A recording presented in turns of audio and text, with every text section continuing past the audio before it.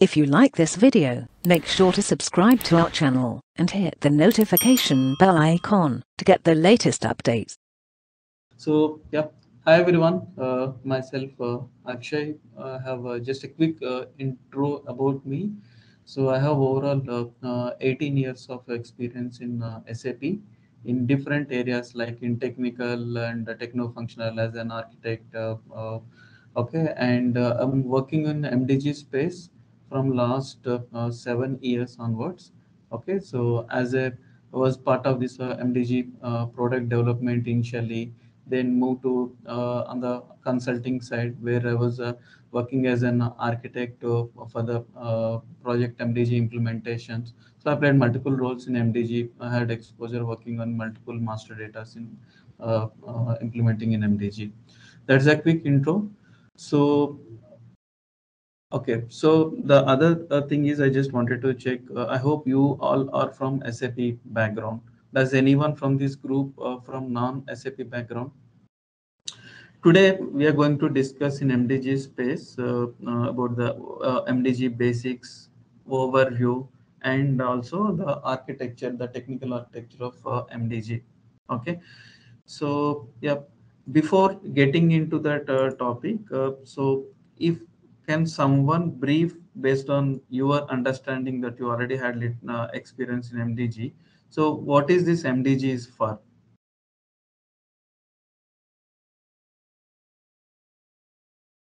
The centralized master data system. Mm, okay, centralized master data system, good.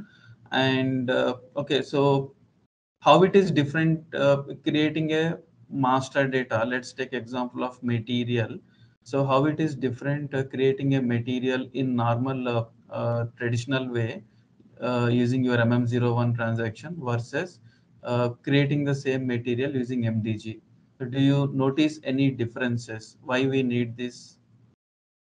So one thing actually like, you know, which uh, clearly distinguishes is like, you know, the governance in MDG, like, you know, it goes Mhm. through multiple levels of approval before getting created in the system. So unlike Yes. the traditional ECC does not have that governance. Yes, that's a good point. And can anyone add any other additional points?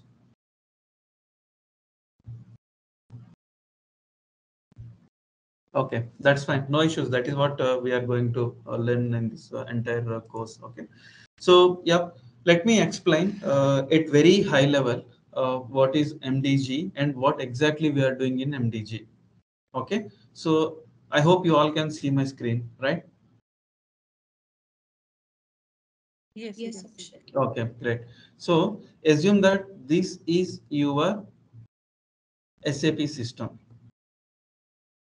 SAP system. Okay. So first thing is what is a master data? So this MDG stands for master data governance. That means you wanted to govern your master data. Okay. So what is master data? And uh, apart from master data, you also have something called transactional data. Okay. So can someone tell the difference between master data versus uh, transactional data?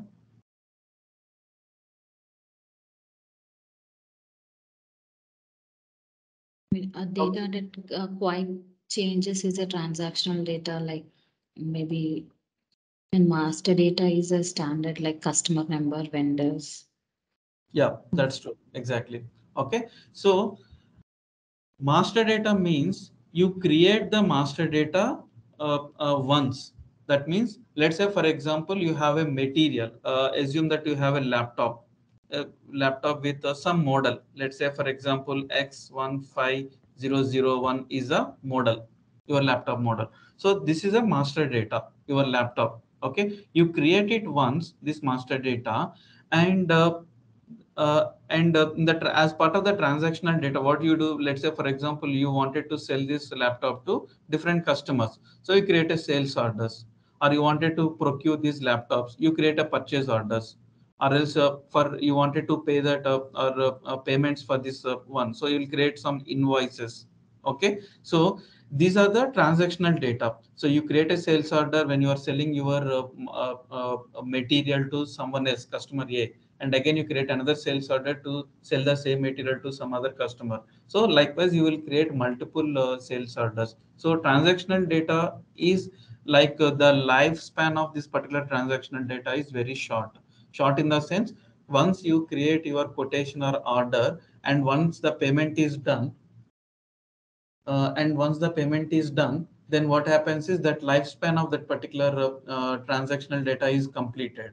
Then again, you might create another sales order, and uh, once the payment is done or the goods is received, you will close that one. So likewise, the uh, the lifespan of your transactional data is uh, very short. Whereas your master data, once you create this particular material in your system, you will be using it for a longer duration and the changes to this particular master data also uh, uh, will, will, very very rarely you will be uh, doing some changes to this particular master data. Okay? So master data will be created once and used in multiple times. Transactional data will be uh, uh, it will create and it will uh, once the required thing is done so that that particular order or that record will be closed.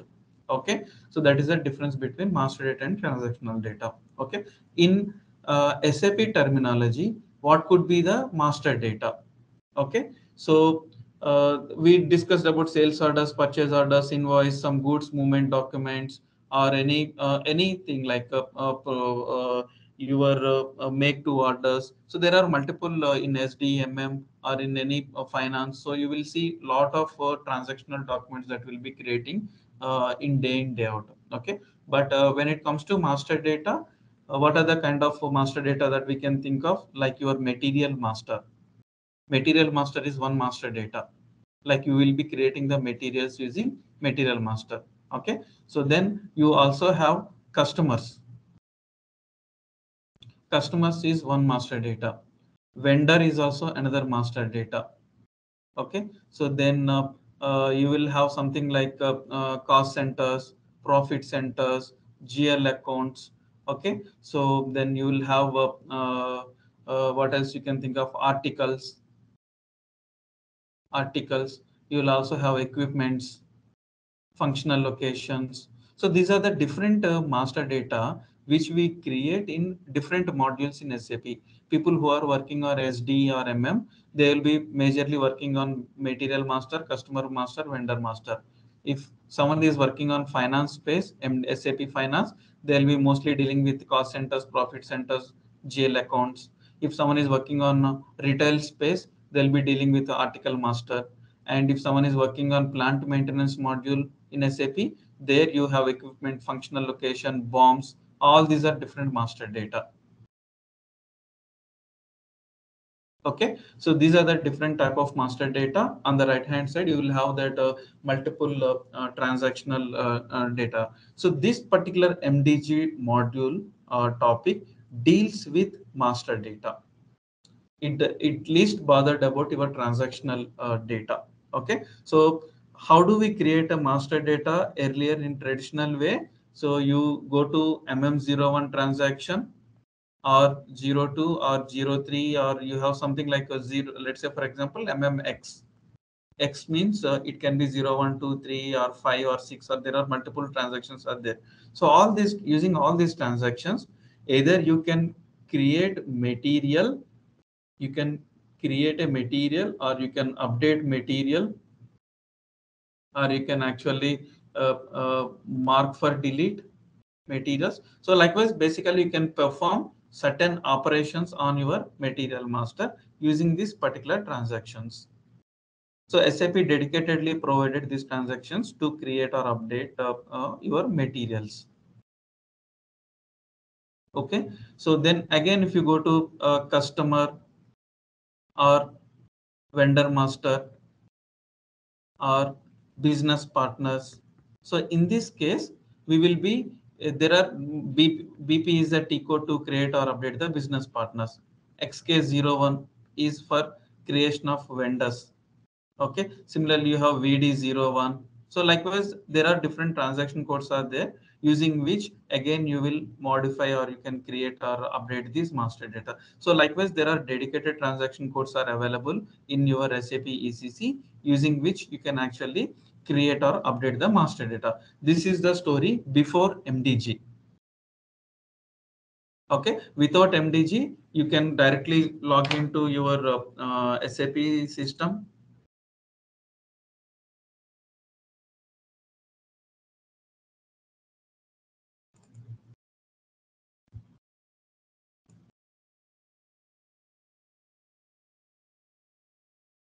Okay, so I'll go to MM01 transaction code and here I can uh, uh, create a material. This is for material creation process. Okay, so likewise, if you go to XK01,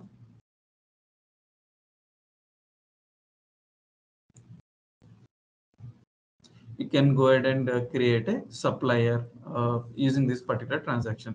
So likewise, you have uh, uh multiple uh, different T codes, dedicated T codes using which you can create the master data. This is going fine. Now, what uh, MDG will do is, let's say, for example, this is your SAP system. Now, this is your SAP ECC component where you have the respective transaction codes MM01, or else uh, XK01 or else you have BPT code. Okay, so likewise you have different T codes. Once you using these particular transaction codes, once you create the master data, this in the backend you have the database. So this data will get stored into your respect those respective tables.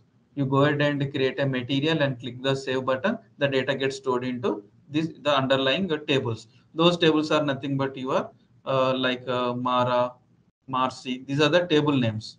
Okay, so so you have your SAP tables. The data gets stored into your uh, the respective tables. So that is something like this. If you go to MM01 transaction, okay, select your uh, let's say for example material type uh, FERT.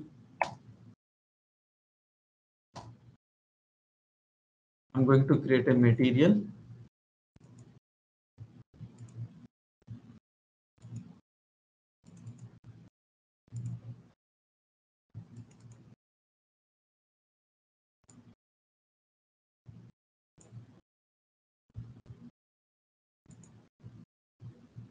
Okay, so I'll enter test material, material description. Test unit of measure, each.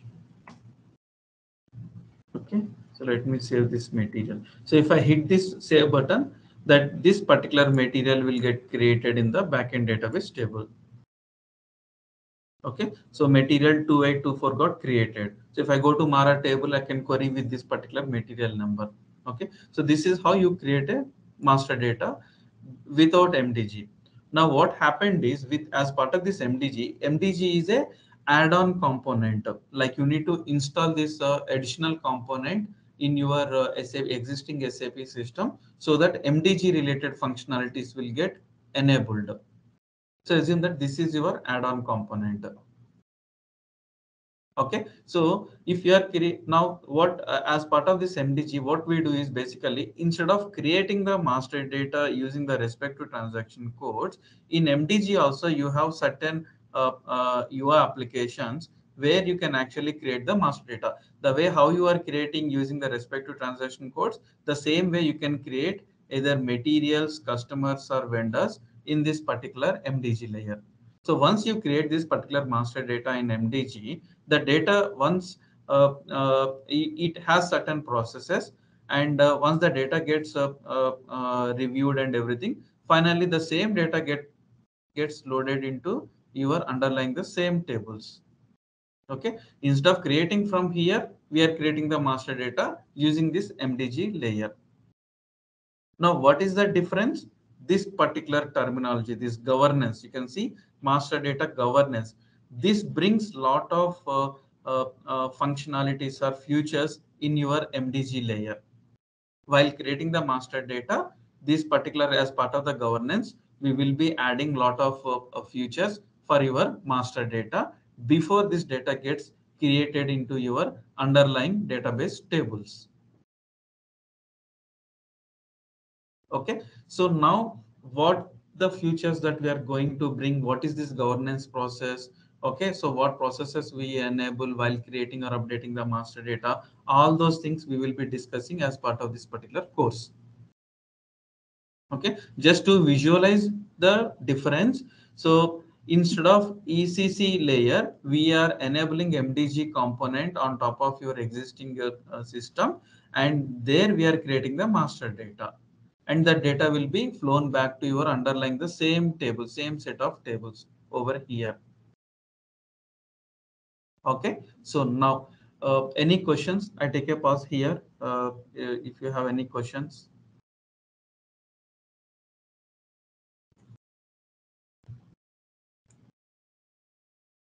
Okay, fine then. So let's move on. Now, let's. No, Akshay, Akshay, this is Ashok. Yeah. I have one query. Sure. See, whenever we create a master data in MDG layer, does the data automatically replicated into uh, backend ERP tables, or does it require any specific mechanism to replicate the data into backend ERP Yeah, tables? there's a, uh, uh, it's a two-folded. So in some cases, uh, it automatically uh, flows to your the underlying tables, and in some cases, we need an explicit configuration. Okay, we will discuss that. Okay, thanks, Akshay. So now let's go back to. Okay, so we have all these uh, different. Today we are going to discuss uh, this particular uh, basics for your architecture, and after that uh, we have uh, uh, that these topics are prepared in a sequential manner, one after other. Okay, so we will go through each and every topic. So the question that you asked just now that falls under this particular topic, data replication framework.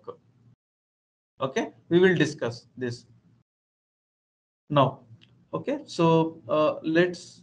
Uh, what is MDG? So we just discussed uh, uh, the at very high level. So master MDG is a kind of out of box solution from uh, uh, SAP, where you can actually have uh, the domain specific the features. Domain specific features means so here this particular MDG is designed for certain uh, master data objects. When I say master data objects, like material master, business partners, which includes your customers, vendors.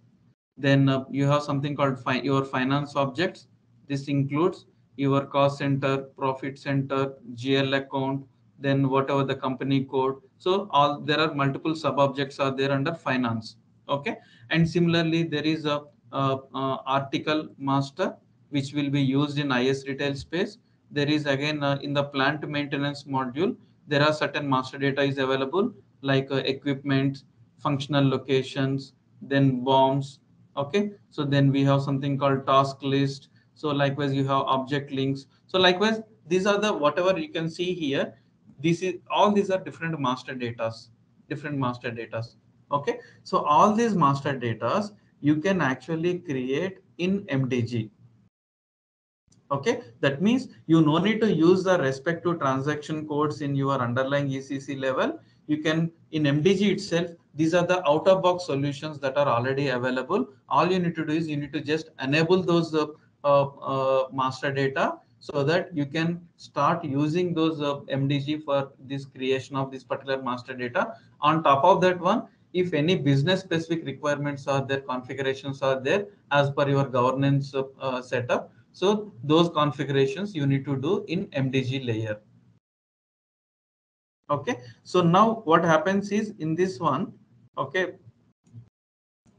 So here domain specific uh, out of box and domain specific master data governance means domain specific master data governance means your materials, all these domain specific uh, your uh, uh, in material management, material is your uh, master data. In SD and MM, customer, vendor, business partners are your master data. So these are the uh, your domain specific master data are already out of box. You don't need to develop anything. You need to just enable those features. So the out of box content will be available. On top of that one, as per your business needs, you can actually configure or uh, the scenarios or you can add the business rules or governance uh, processes. Okay, so that is about domain specific master data governance. Okay, and uh, you can actually, as part of this MDG, you can create the master data, you can update the master data, you can extend the master data, you can block or unblock, you can mark or delete. Basically, you can perform all the operations, all the CRUD operations on your master data. And those, whatever the changes that you are doing in your uh, master data, that changes you can replicate to the, or you can distribute to the multiple target systems as well. Okay, so then what happens is in in a, a typical uh, uh, uh, organization, right? Uh, so okay, so in general, uh, let's say for example, if you take any uh, organization that SAP landscape, assume that you have your SAP MDG system. Okay, now you'll have another, let's say for example, multiple systems where this is again another SAP one system which you will be using for your sales processes. Okay, you will be having your another SAP two system which you will be using for all your uh, procurement uh, procurement related stuff, and you will also have another SAP system for your uh, uh, uh finance related uh, processings. So there might be multiple SAP systems you will be having. Each these systems you will be we call it as a your transactional systems transactional systems in the sense where you will be creating the respective orders or the transactional documents and everything. Okay, so to create your transactional documents, you need material master or maybe business partners or customers or vendors. This master data you might need. Similarly, here you might need material master data. Here you might be needing a business partner data. So earlier without MDG, you will be creating the respective master data in the respective systems and you will be using it. Now with the introduction of this SAP MDG, what usually we do, the typical landscape is you use, you create all your master data centrally in here. Like that means your material master, your business partners, your customer master or vendor master, all the data you'll be creating over here. And after that, what you do is you can actually, once you create this particular master data, you can replicate or distribute this particular master data to the respective target systems so that no need to create the master data again in the respective target systems. Centrally, you are creating all your master data and distributing the data to the respective target systems, either SAP systems or non-SAP systems as well. Okay, so this is what actually, if you have only one single SAP system, that system itself you will be using for your master data creation as MDG. And the same system you will be using for your transactional purposes as well. Okay, so now if you look at this definition, so once you create the master data and distribute or consolidate the master data across uh, your complete enterprise landscape. Okay, so you are creating your master data centrally in MDG system and you will be distributing the data to the uh, multiple uh, transactional systems, either it can be SAP system or uh, uh non-SAP system. Okay, so now what is the advantage that I get uh, while creating this uh, master data centrally? Right? So the advantage is basically at a very basic level if you look at this you are create you have one single view of all your master data in one system if at all i need to look at uh, my uh, all the materials active materials or active business partners or customers i no need to look up the individual respective systems because all these systems are getting the data from your MDG system only.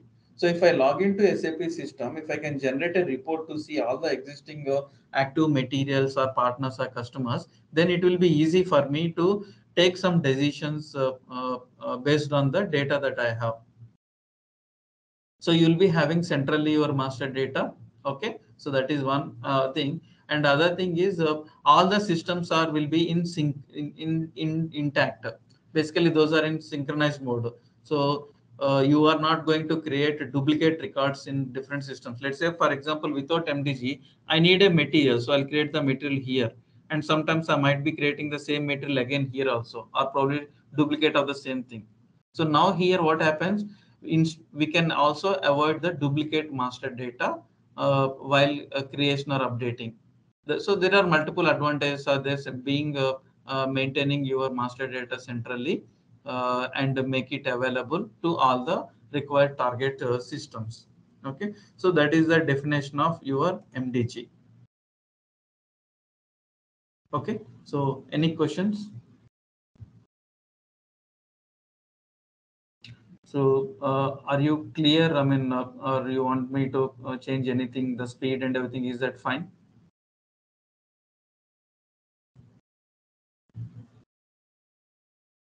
Okay, so as Fine, you- Akshay.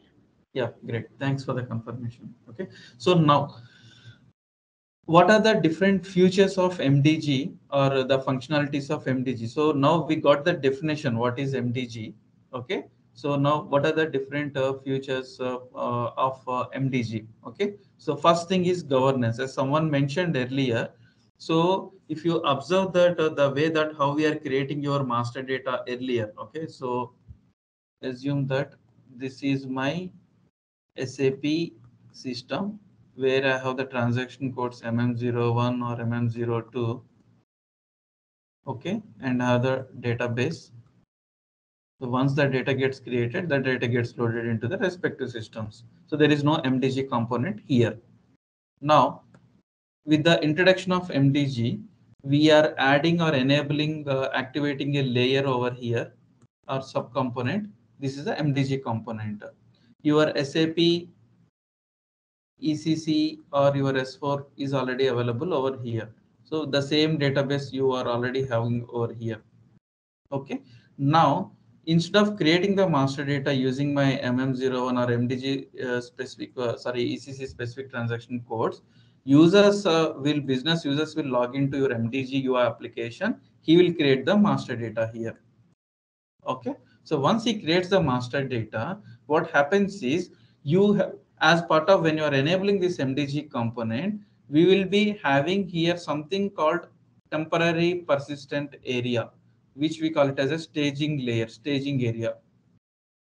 Staging area. Staging area is nothing but a group of tables only, but uh, so th this is your final tables on the ECC that you have. This is your final table. We call this as an active area. Active area active area is nothing but all your SAP standard tables, your MARA, MARCI, MVKE, or uh, your uh, uh, whatever LFA1, LFB1, LFM1, all your customer vendor. So those tables. So all the tables that is there as part of your ECC or S4, those we call it as an active area. So MDG, without MDG, also you have these active areas already available over here. Okay. But now what happens is with the uh, and when you are enabling your MDG component, this particular staging content uh, or the group of staging tables will get generated in the system. Okay, so this is also just like your normal SAP table only. You can go to SE11 T code and you can look at the table names. Okay, now the what happens is this is your temporary area. So when user creates using MDG UI application, when user creates the data, master data, first this data gets loaded into your staging area. Okay? So the record get inserted into staging area. And after that uh, it will go for some approval process and in the the requester will create and it will go to the approver process and approver will review and he can further change the data and finally uh, approver approves the uh, record. Okay? So once approver approves the record or finalize the record that is the time this the data from your staging area will be moved to your underlying uh, the active area tables. This is the typical process. So now here what we are doing is we are adding a governance layer. When you are activating mdg means you are active you are adding a governance layer.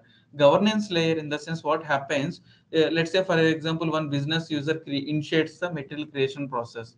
Okay? So this the okay? So let so requester okay who will actually initiate a master data creation. Then it will go to the uh, approver plant approver or some approver. So he will review the same request. So when he initiates this one this time the data is going to store in your staging table. And approver will open the same record the staging record only he will open it and he will he can modify the data.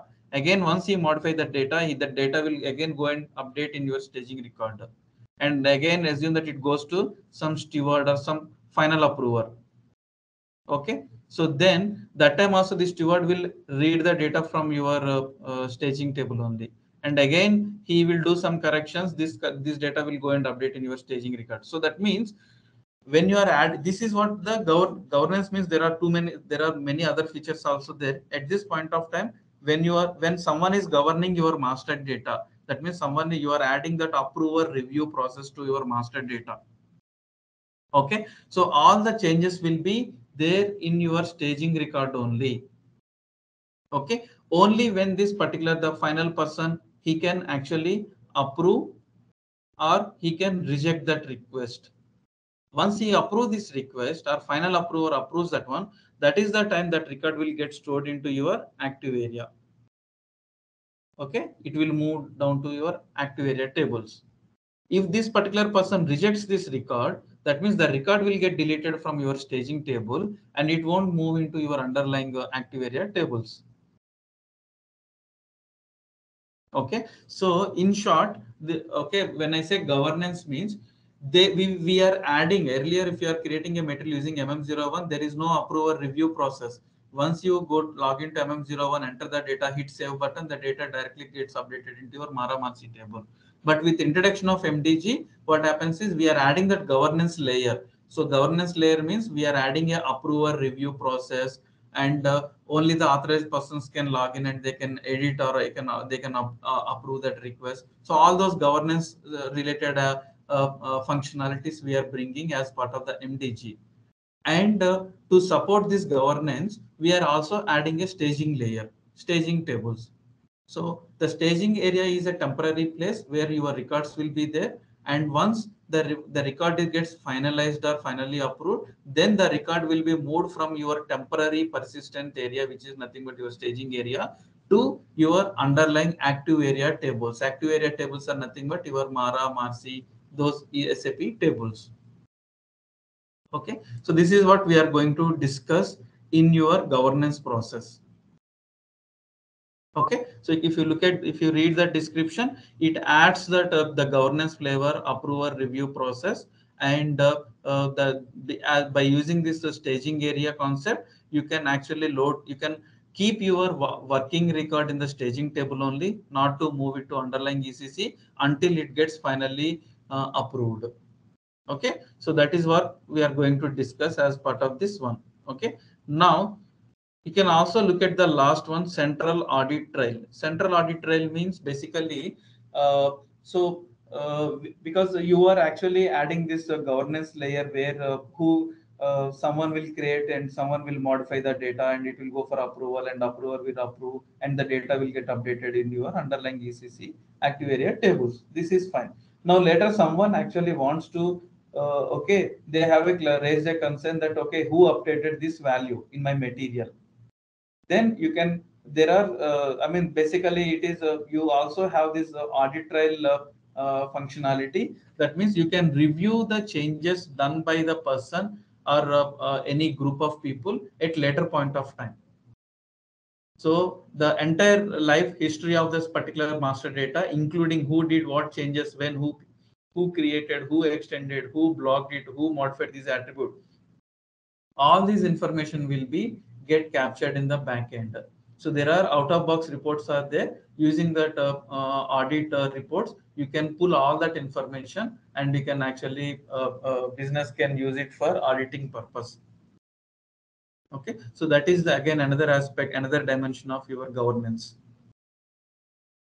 Okay, so this is about the governance. Now coming back to consistency.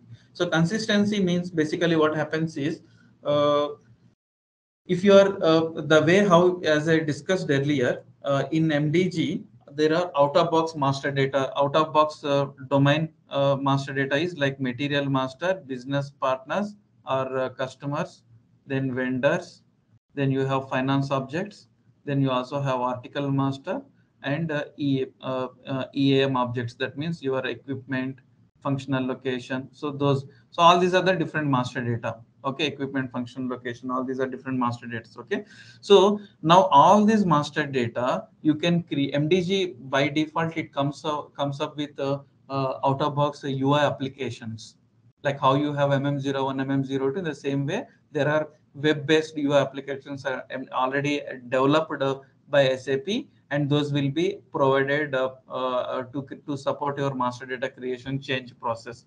Okay, so now when it comes to the consistency, the UI applications for MMBP and everything, right? It follow the same theme. Maybe the application specific, your material specific attributes might differ. In material master, you will have the plant information or else valuation or storage location information.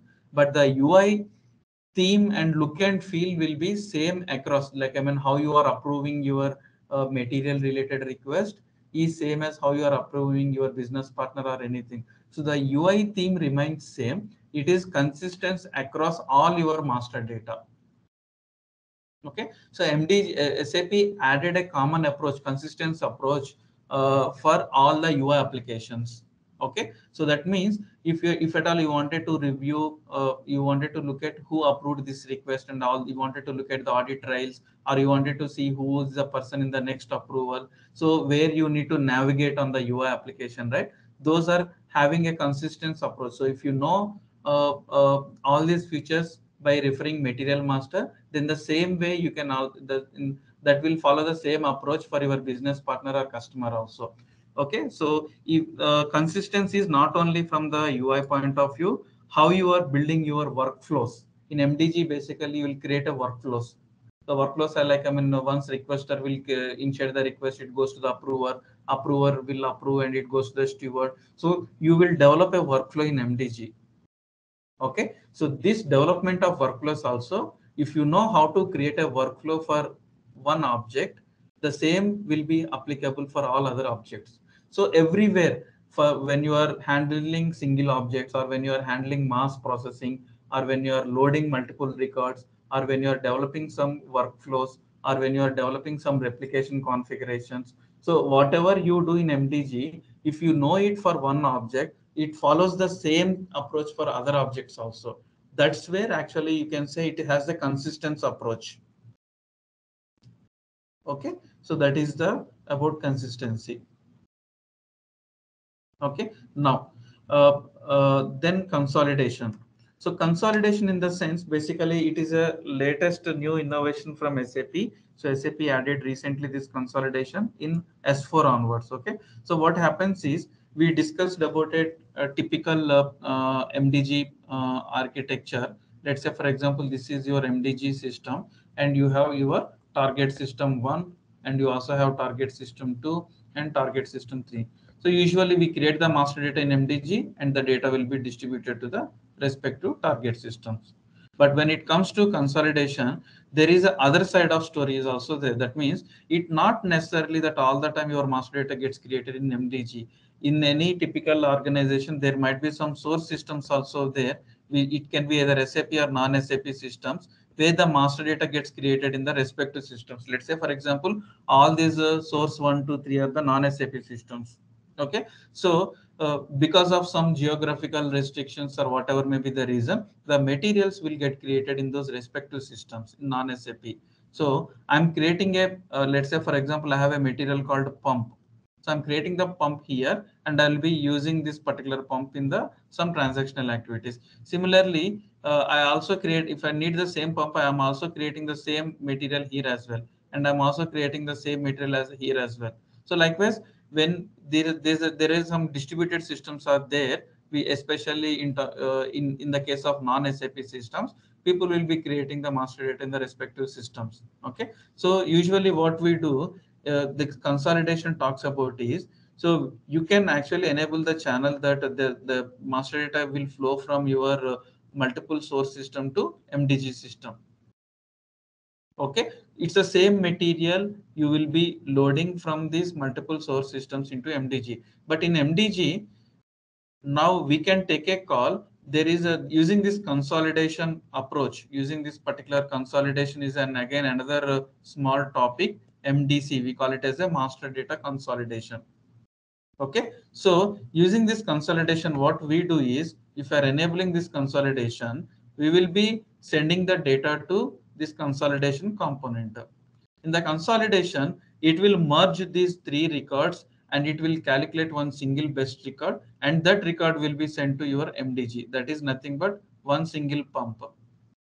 So consolidation means basically when there the same record exists in multiple source systems and when you wanted to load that uh, records into MDG system, then what we do instead of creating those those many records, I will consolidate and I can create a one single record. याच्यावरती नाहीये capacity ठीक आहे okay चालेल Okay, any questions here? Uh, Uh, one question, Akshay, uh, like Yeah. when we consolidate, we know we are just compressing the data to a single entrant sending to target systems. Hmm, But when we are referring, uh, we are not sure, um, we, we can only compress or consolidate the similar data, right? Not if at least one mismatch is there, right? Ah, okay. So if you are sure that, see, it's not necessarily that you will be compressing into a single record. You can keep those records as a three separate records, or else you can club these three records into one single record. Okay, so that it gives that option whether you wanted to uh, combined. So when you are clubbing these multiple records into one single record, on how I can update the data because each and every record has it. Assume that if if it has its own set of attributes, okay some of them are matching and some of them are ma- not matching which record you need to consider as a reference record and copy the data from that particular record while creating a new consolidated record okay? So there is a that we call it as a uh, best record calculation. While clubbing these three records into single record there is an algorithm brc which we call it as in mdc best record calculation. Under this one there are multiple algorithms are there. You need to choose one algorithm on which basis you will be merging. If at all you wanted to go for a consolidation consolidated record. Okay? So uh, that is uh, does it answer your question? Yes, uh, yes, Akshay, I, I got it. I Okay. mean, considering some uh, algorithms, we have to choose the Yes. best match and considering it as a reference, uh, consolidate the data and send it to the targets or create a master data in uh, source MDG Yes. system.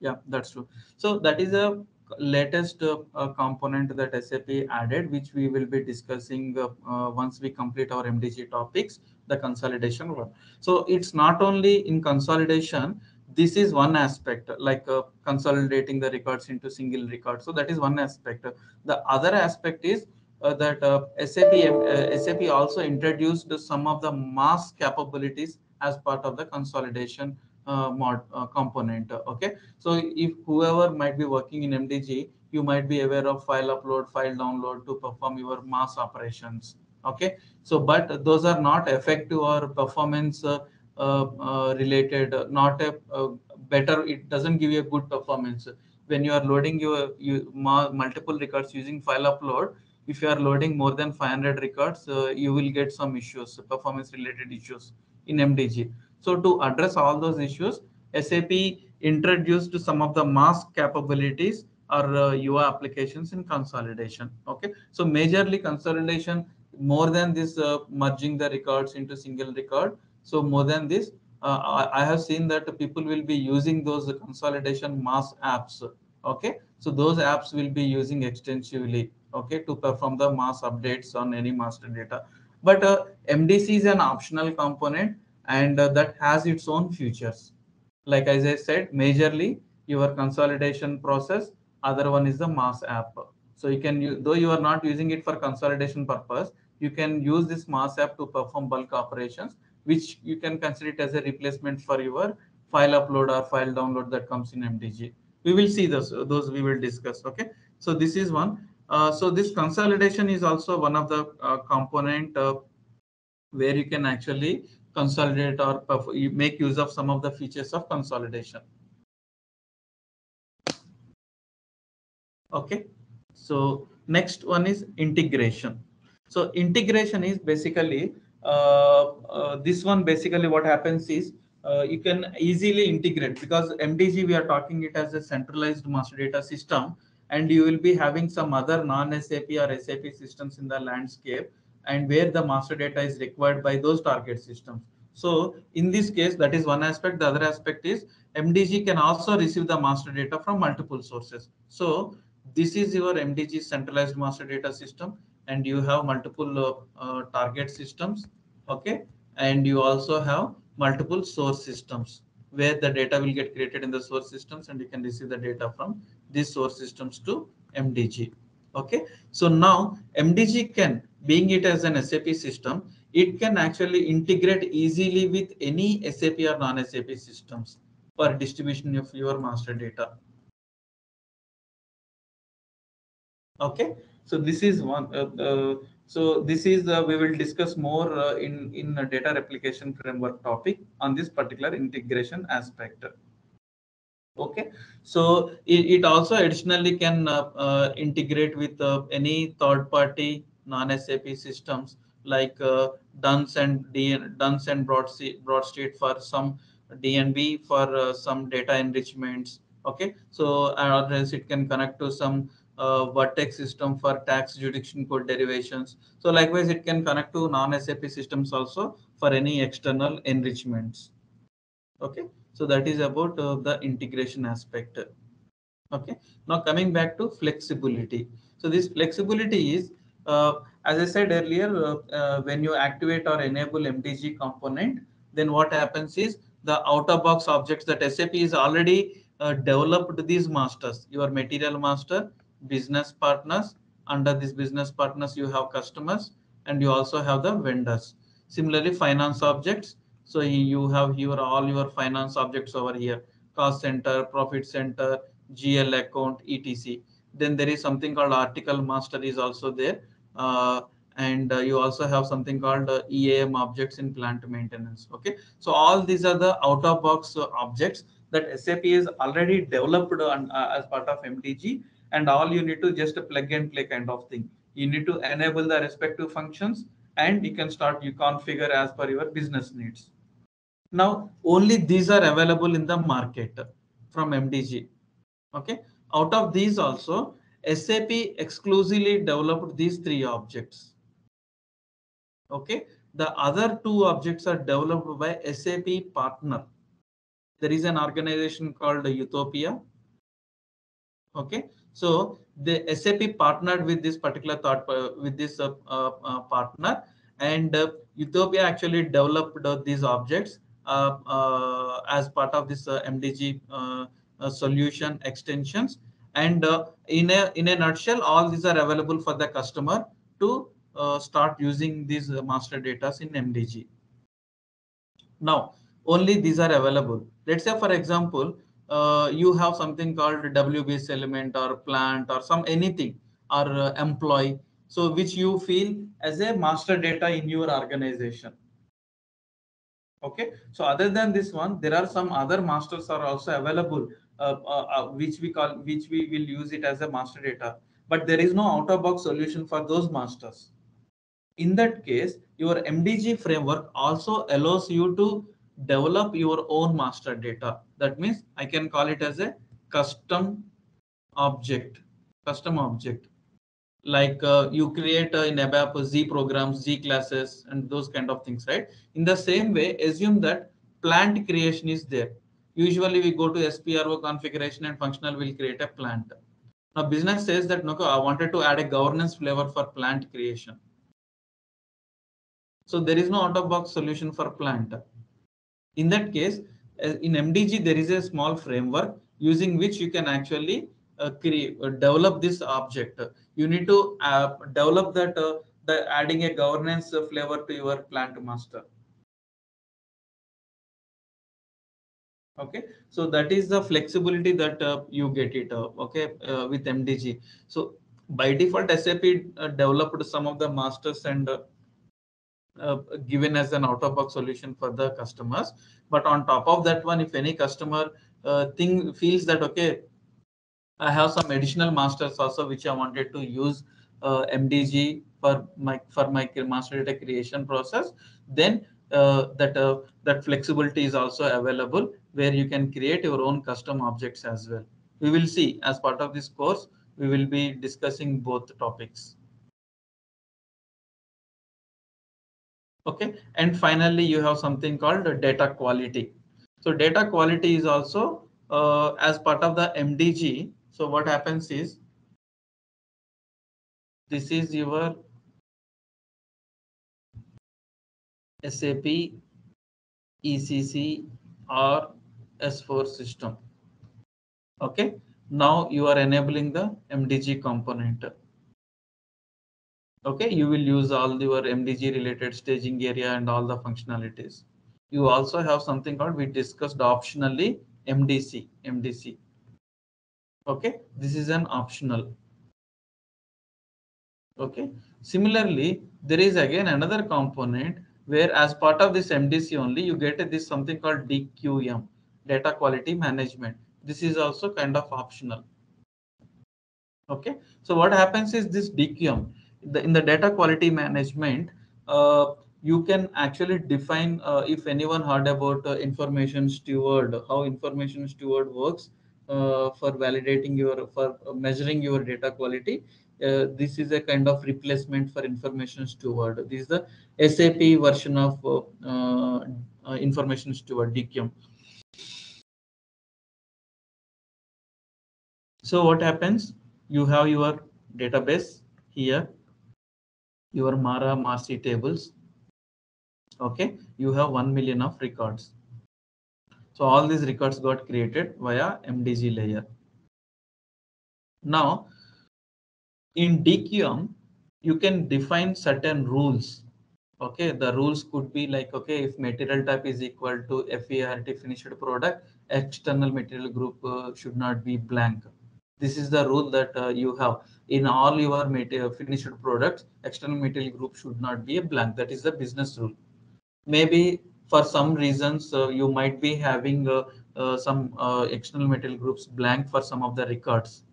In this case, you define such kind of all your business rules in DQM and this DQM when you run those rules this DQM will execute all, it will apply all the rules on your existing 1 million of records and assume that out of 1 million of records, there are 500 records which are having external material group as a blank.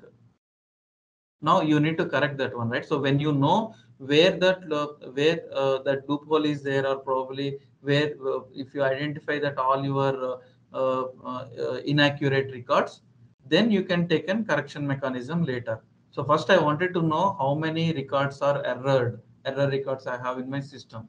So that's how you define all the rules in DQM and uh, you can run that uh, DQM rules on your uh, uh database or existing ECC underlying database and it will give you the output as how many of the defected records.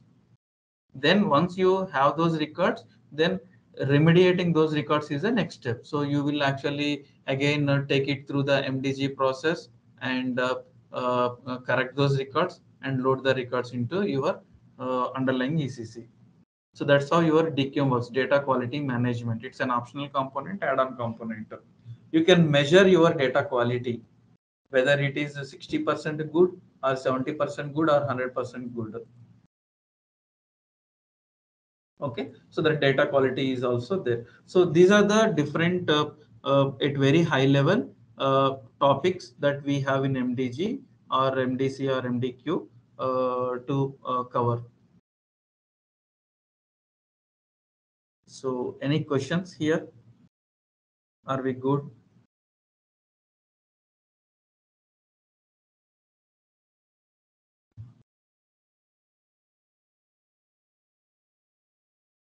Is this clear uh, that uh, the at very high level? Yeah. Okay. Okay. So this uh, DQ uh, DQ uh, tool, is this FPM based or it's a non-SAP tool? Uh, it's SAP tool only. It's a SAP like a uh, uh, you have Fiori based UI uh, applications. Okay. Okay, we will show. I'll show you that how those the, how to set up those rules and how we can run that and how we can measure the data quality. So those things we'll discuss as part of the data quality topic. Okay, fine.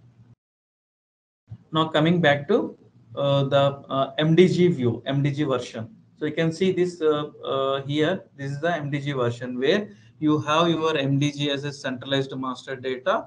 And uh, once the, data, the data gets created over here, and the data can be distributed to the respective target systems over here. It can be SAP or non-SAP systems. Okay, so this is your MDG, only having MDG, enabling the MDG component on your existing SAP system. Okay, so then the next one. So you can see this consolidation for analytics.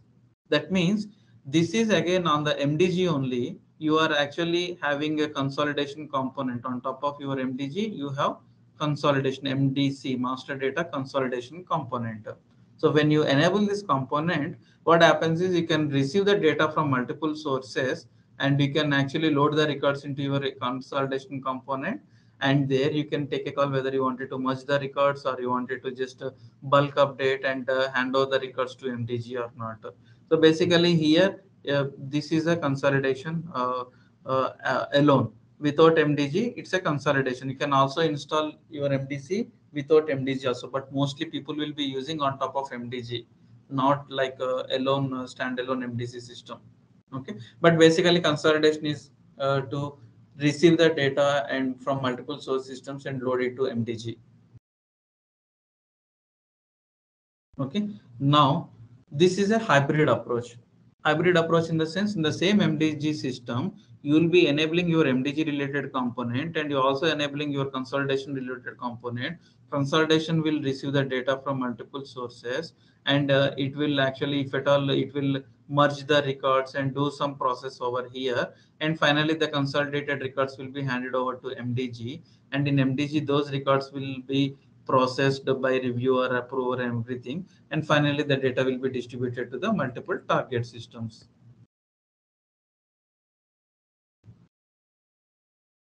Uh, like this is like an integration and console all together, right? Yes, all together where you will be having consolidation as well as MDG.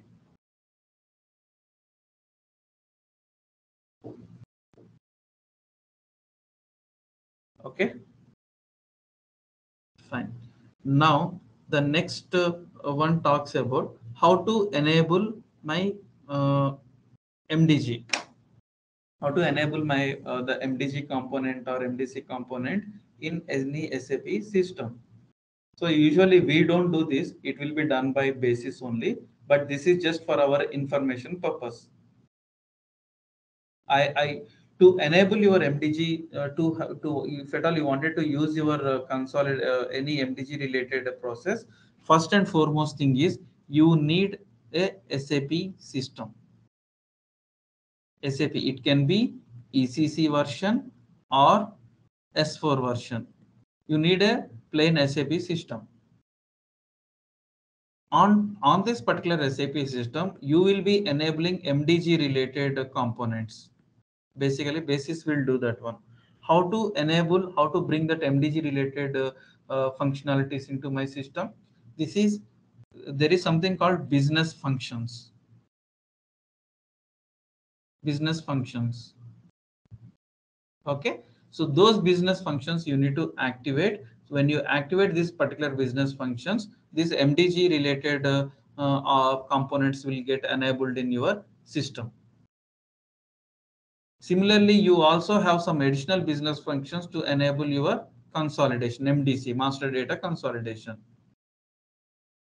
Okay, so this particular diagram shows you that Uh, uh, what business functions. So this particular portion is MDG specific business functions. This particular portion, your consolidation specific business functions. Okay, so this is a 9.0. Currently, we have 9.2 version. So you might be seeing some additional business functions, but the concept remains same. Okay, so now how to activate these business functions? So if you go to your any SAP system,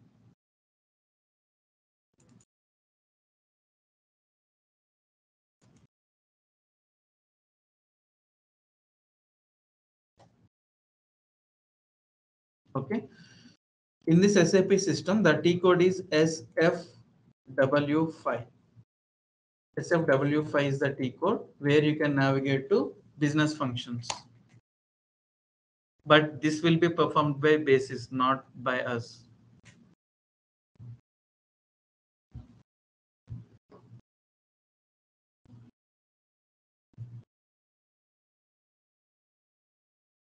It takes a couple of minutes to open. So it's not only specific to MDG. This T code is general. If at all you wanted to activate SRM related module or IS retail module or any on a base SAP system, you wanted to enable CRM or any add-on components. This is the place where basis will be doing. Okay. So similar way for MDG also, the business, if you, you can actually see the business functions over here. So let me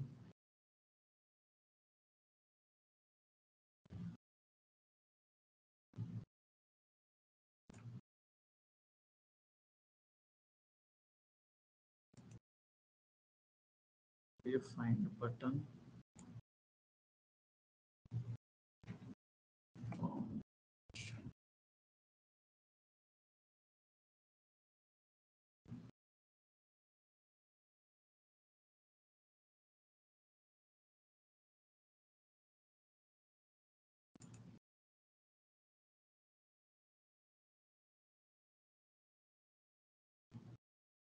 So these are the consolidation related business functions.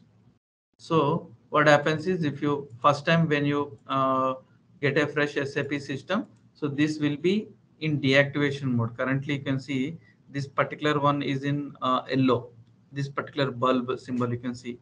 So that means these are already activated. The consolidation related stuff got already activated in this particular system. Similarly, MDG related also should be there the business functions.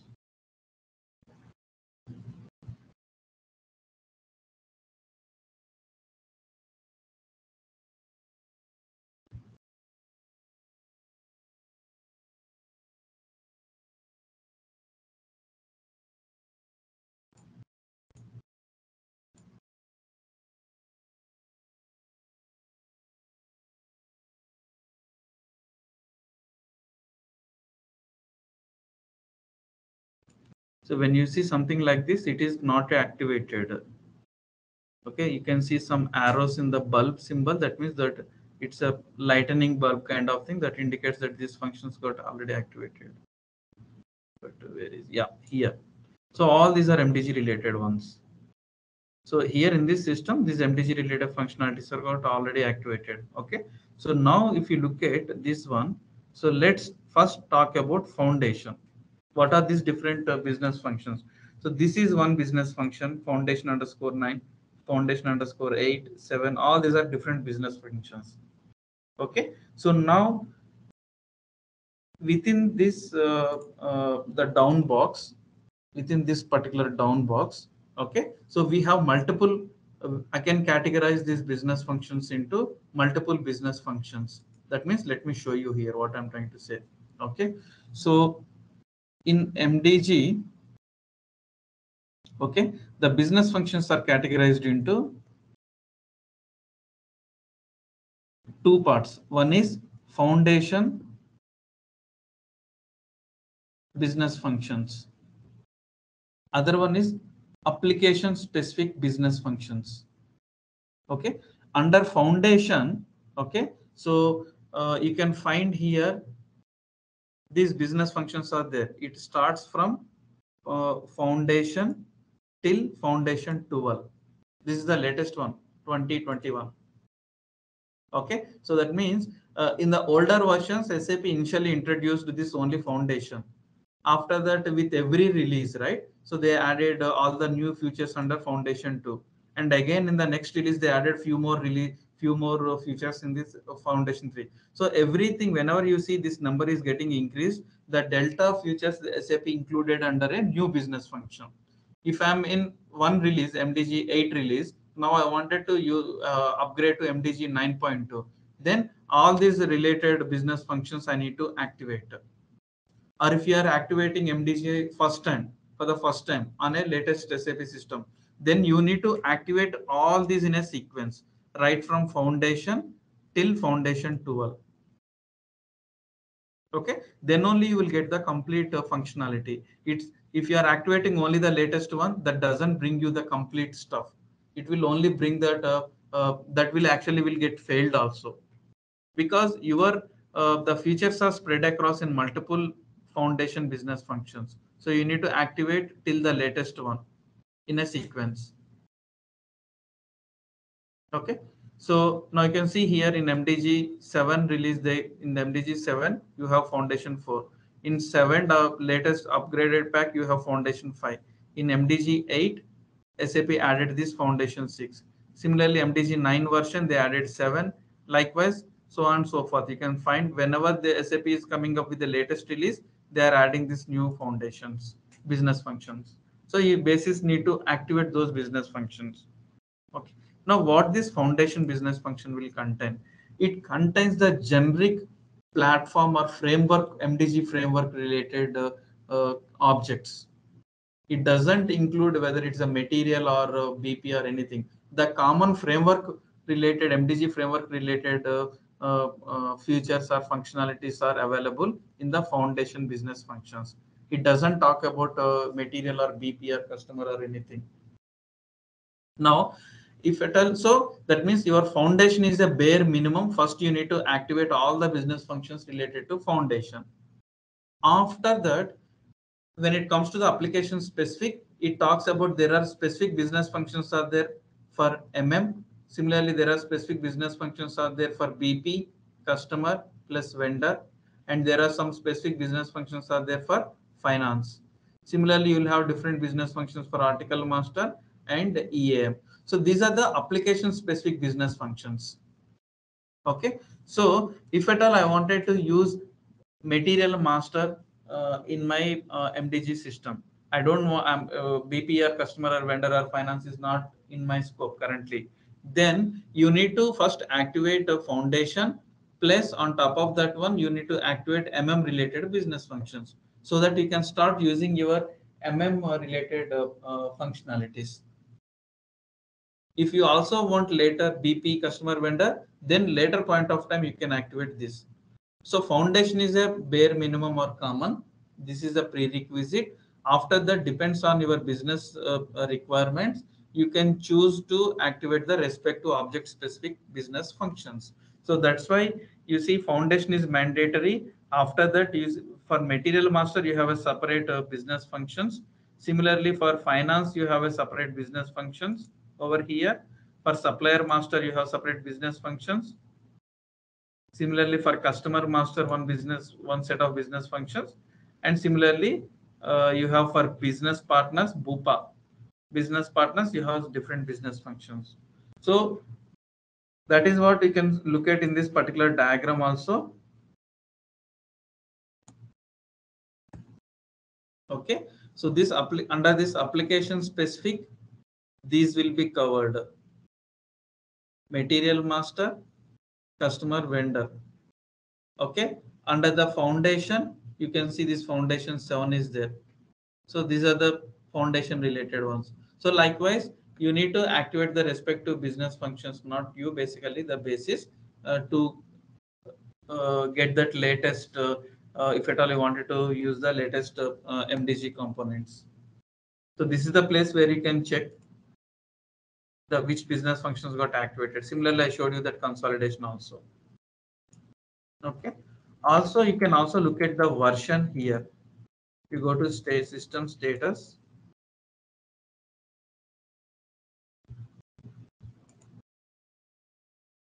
Okay. Here installed product versions.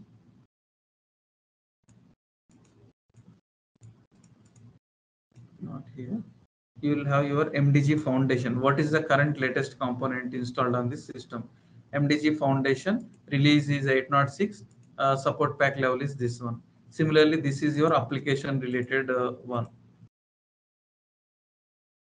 Okay, so these two will give you because when you are applying any SAP OSS nodes, right, to fix any issues, so you will you can also look at uh, uh, the latest version uh, to identify whether it is applicable this node for the current release or not.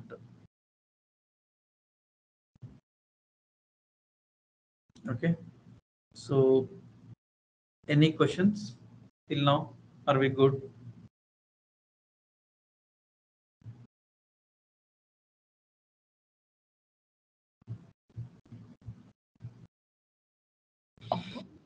Sorry, Akshay. Um, all this needs to be done in uh, MDG system, right? Completely. Yeah. yeah in mdg system i'm coming back to that uh, i will add some more details uh, uh, after this uh, one so that it will clarify where you are you, you need to install this for now yes mdg system but uh, uh, let me show you visually uh, that uh, uh, what are the different way in what are the different uh, ways i can install this mdg components Okay. Thank you. Okay, fine. If no questions, let's move on. The next slide here talks about something called hub versus co-deployment. Okay, so now we know that, okay, to activate my MDG component, I need to install something called business functions. And those business functions are categorized into foundation and application specific. Foundation is mandatory one to uh, before applying your application specific business functions. Okay, now where do where do I need to activate all these business functions? That's where we talk about this hub versus co-deployment, which is very, very important. Hub versus co-deployment.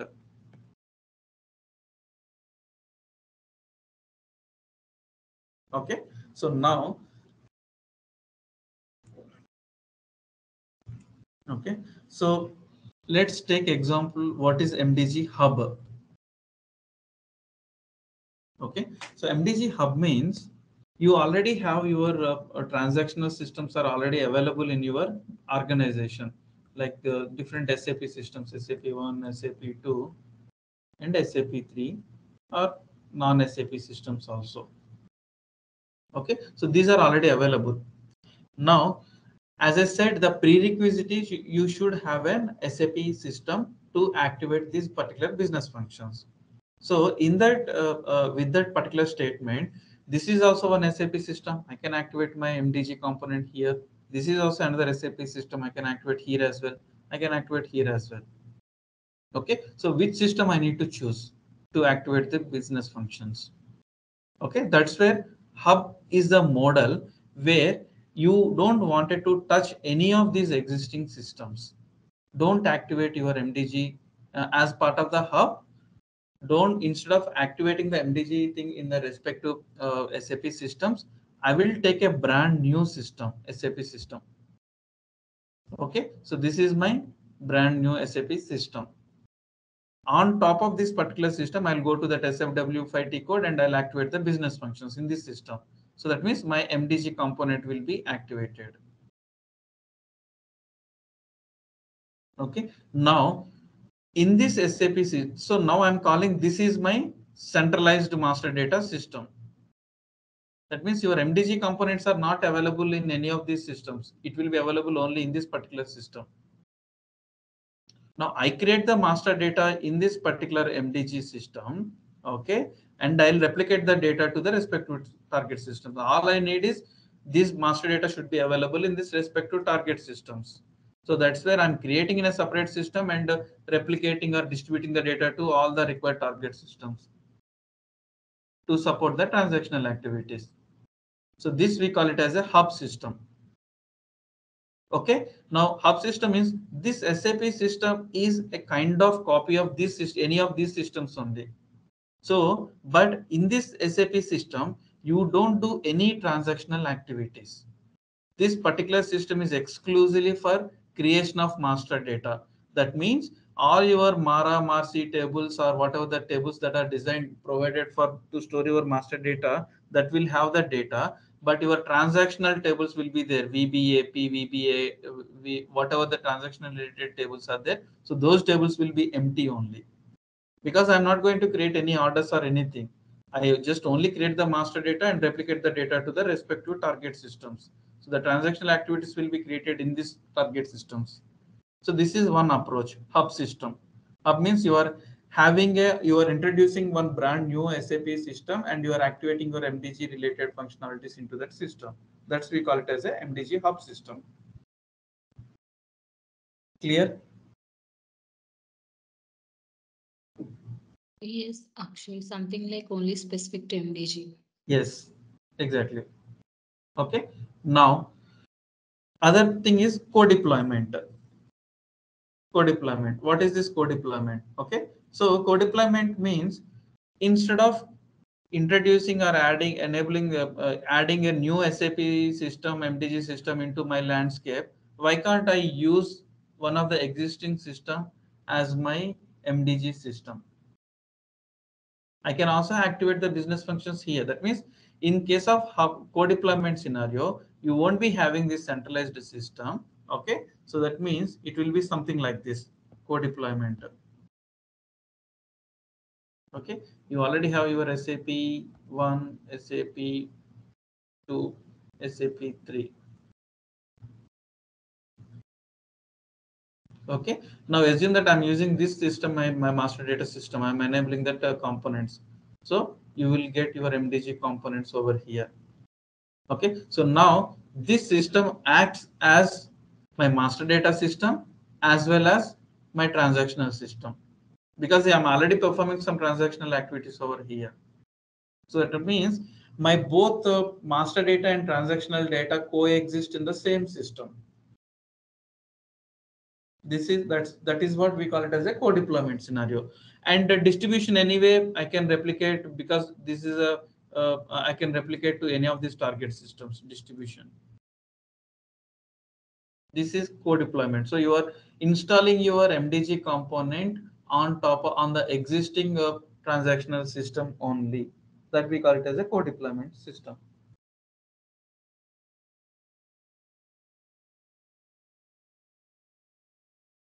Clear? So Akshay, what are the pros and cons of each approach? uh, that we will discuss now Okay. so once you understand this both just give me a minute. Okay. So yeah. So this this is a co-deployment. So you you have option to enable your mdg component in uh, either of these modes. So generally if you are uh, people the first question is okay people will ask you that okay if you are working on mdg okay so whether it's a co-deployment or hub scenario so that means that you should get uh, this visualization in your mind uh, when you are thinking about hub versus co-deployment. Okay, so now we will discuss about what is the pros and cons, and after that, in what what scenarios we will prefer uh, to go for which approach.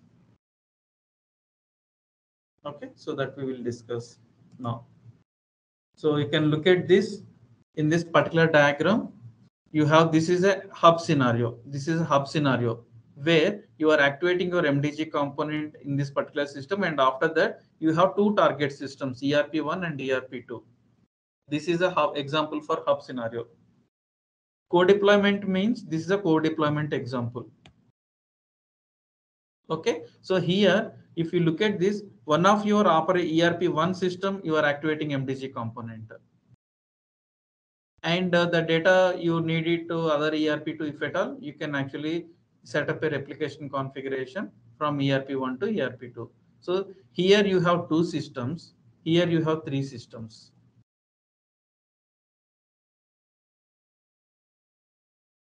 Okay, so now this is about hub versus co-deployment. Okay, now let's look at what are the pros and cons of each of these approaches. Okay, so first one is MDG hub co-deployment.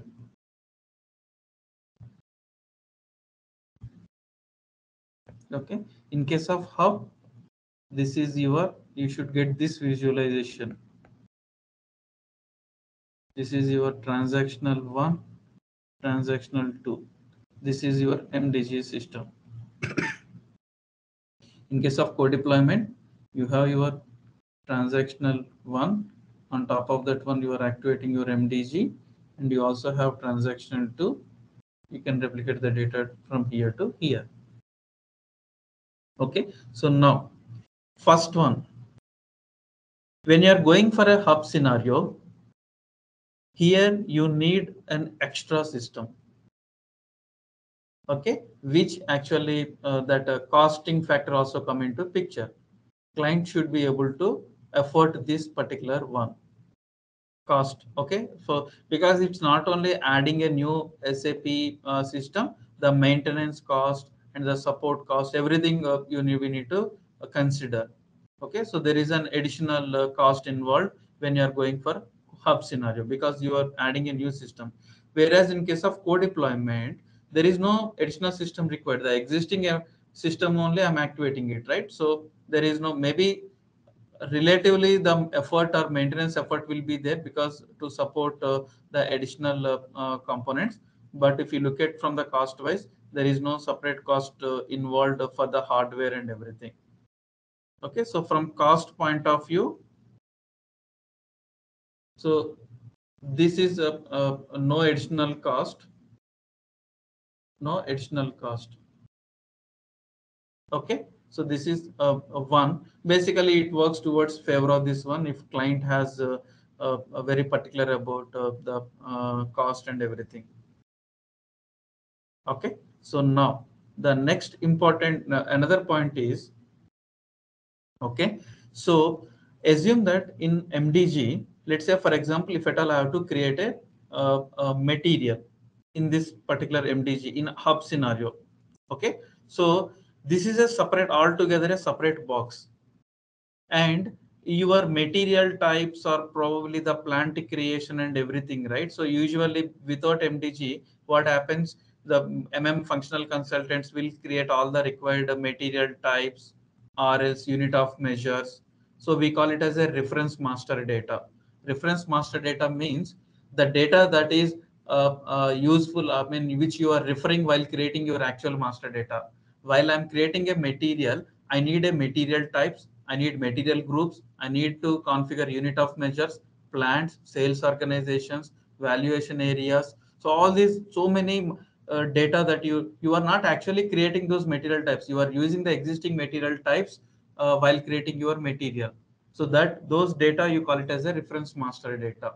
Your currencies, your country, and your plants, sales orgs, all these things we call it as a reference master data.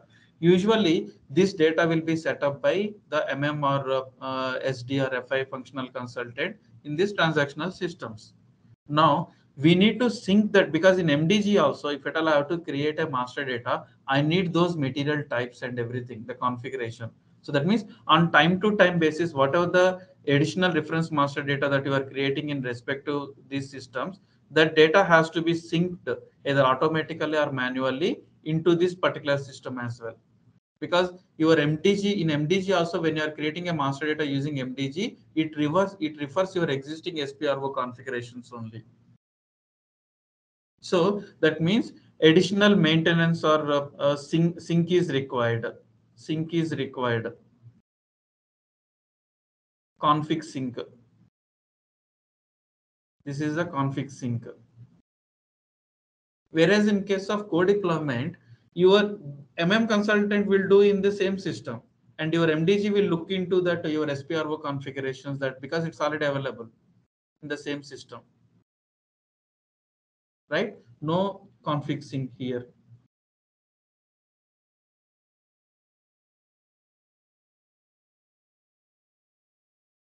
Clear is this point?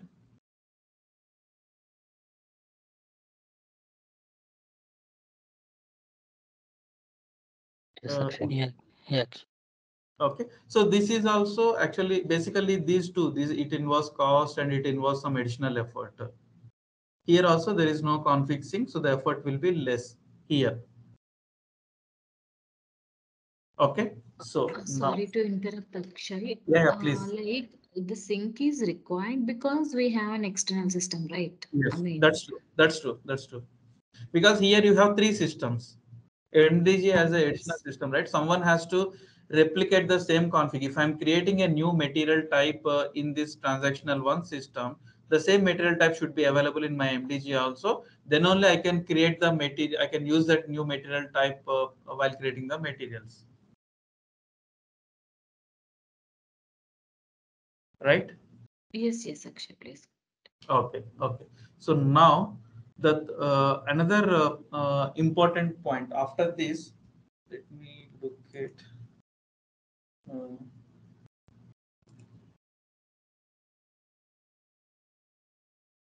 Okay, so these two points basically works towards your uh, co-deployment, but there is very very important point which actually works in favor of your hub hub scenario.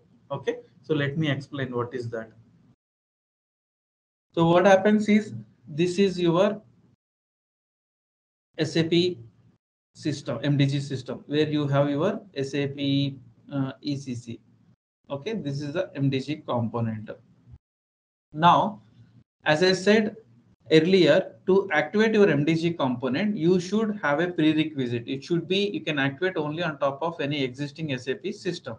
So that means you have this SAP system, assume that it is there somewhere around uh, EHP, some level, some version. EHP, for example, I don't know the numbers, but uh, EHP 8 or some version. Assume that this underlying uh, ECC uh, system. Now, currently you are in MDG the version assume that version is MDG 8. Now you wanted to upgrade from MDG 8 to MDG 9.2, which is the latest version. That means the additional business functions are there. You need to activate those additional business functions so that because you know that some customer is asking for some requirements, those are not available in 8 and you need, you need to upgrade to 9.2 to, uh, to make use of those features.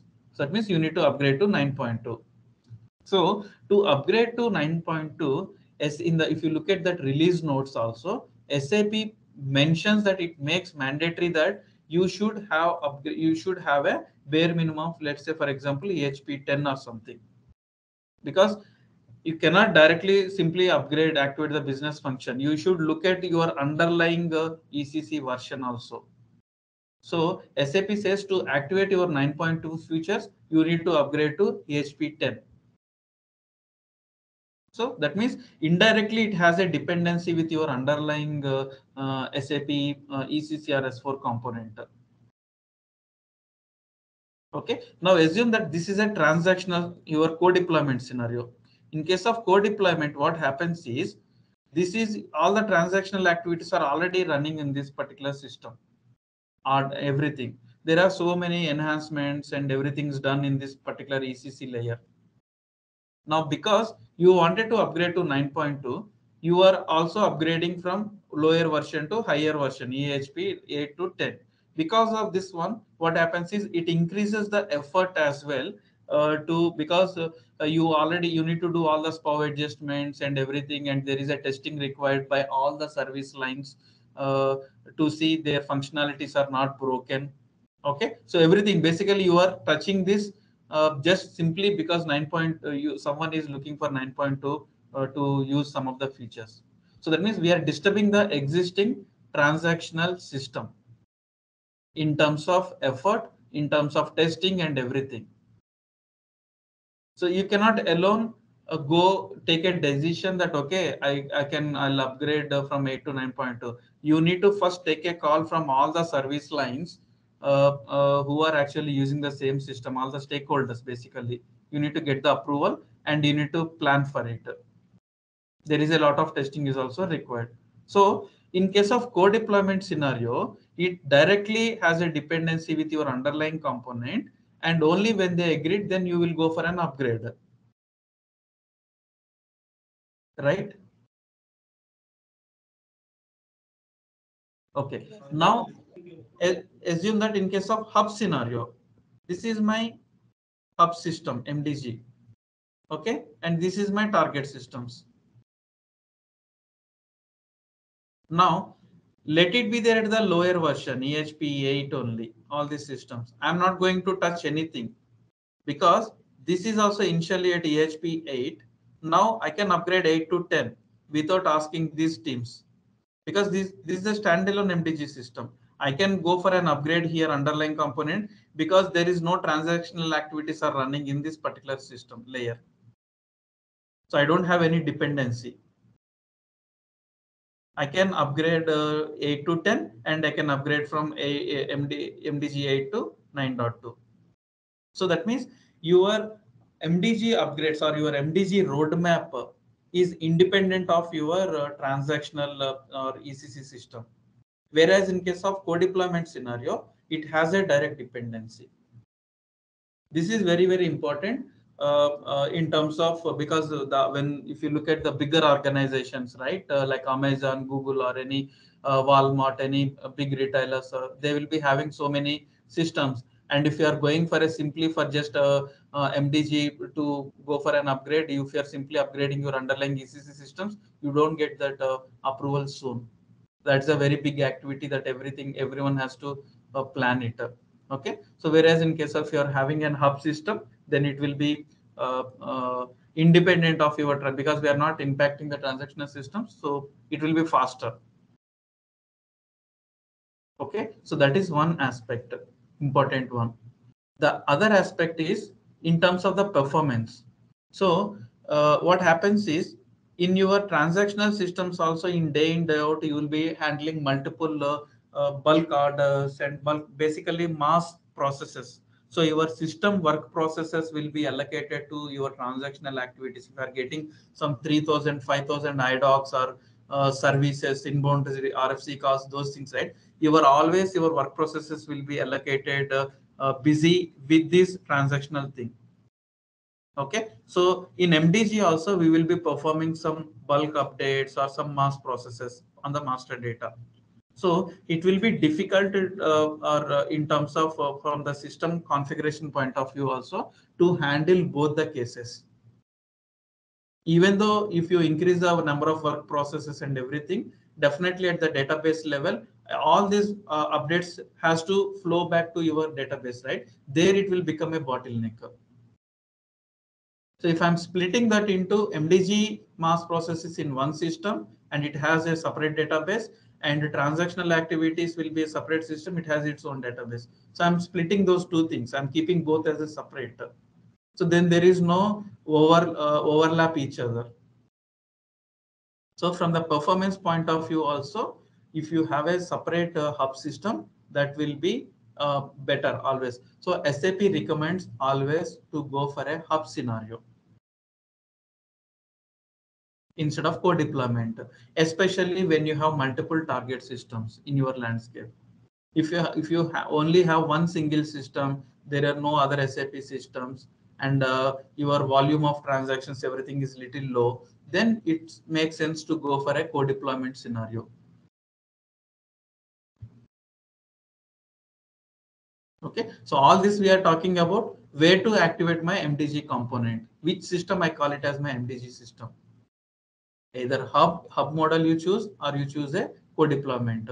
In case of co-deployment, uh, we always uh, uh, strictly say that if you only have one single SAP system and your volume is less, then go for co-deployment. Otherwise, keep it separate uh, MDG as a separate system and uh, don't mix with your transactional systems.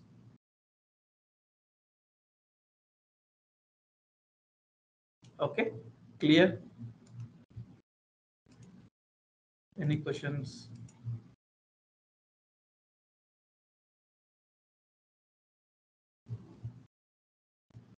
Okay, so if you look at uh, this particular uh, diagram also, it says that in case of co-deployment, your SPRO configuration, everything is available in the same system. There is no sync or anything.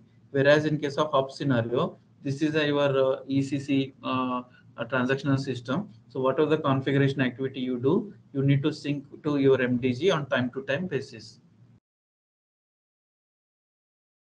Okay, so these are the differences that we discussed. Uh, like uh, TCO means it's from the cost impact, from the cost perspective, they, there is no additional system maintenance in case of, sorry, there's an additional maintenance in case of hub deployment.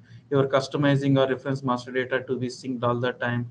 Okay, future flexibility in the sense, if at all you wanted to go for any upgrades or something, so you have that flexibility.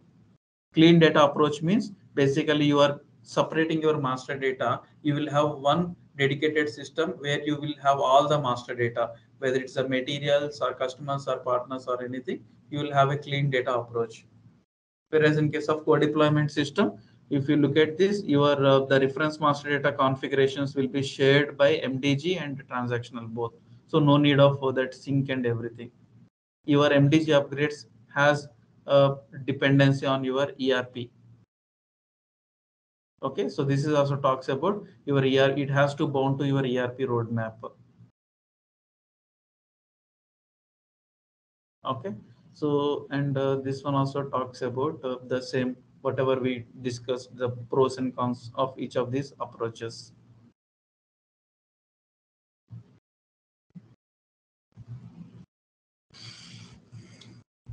Okay, so then, so if is this clear to everyone hub versus co-deployment? Because we should know when when i'm talking about uh, some mdg related things so where we are talking in hub in hub also or whether it is in co-deployment? Any questions till now?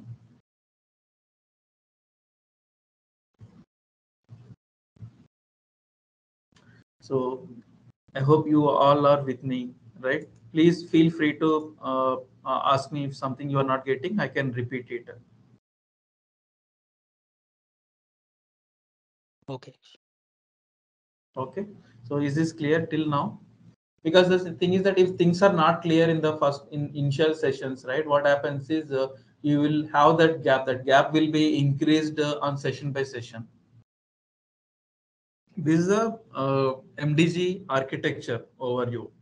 Okay so you will it will cover all the components of uh, mdg uh, along with that all the surrounding systems and everything. Okay? So if you look at this the central one is this is the central one is your mdg system. Okay? In the mdg system as we discussed earlier right? So this is your underlying ecc or uh, the s4 layer where you will have ABAP application uh, layer and also your the logistics or ERP layer. So this this particular portion, whatever you see here, this particular portion basically is your underlying, uh, uh, we call it as our ECC or something. On top of this one only, we'll activate our MDG component. In the diagrams also, whenever uh, uh, I create, uh, I'll draw this particular MDG diagram, I'll be drawing something like this. Okay, so this is your underlying uh, ECC and this is your MDG component. Here you will have your uh, ABAP layer plus your ERP. It can be ECC or it can be your S4 system. Okay, so this is one. On top of this, you will be having your MDG component. So this particular portion talks about this.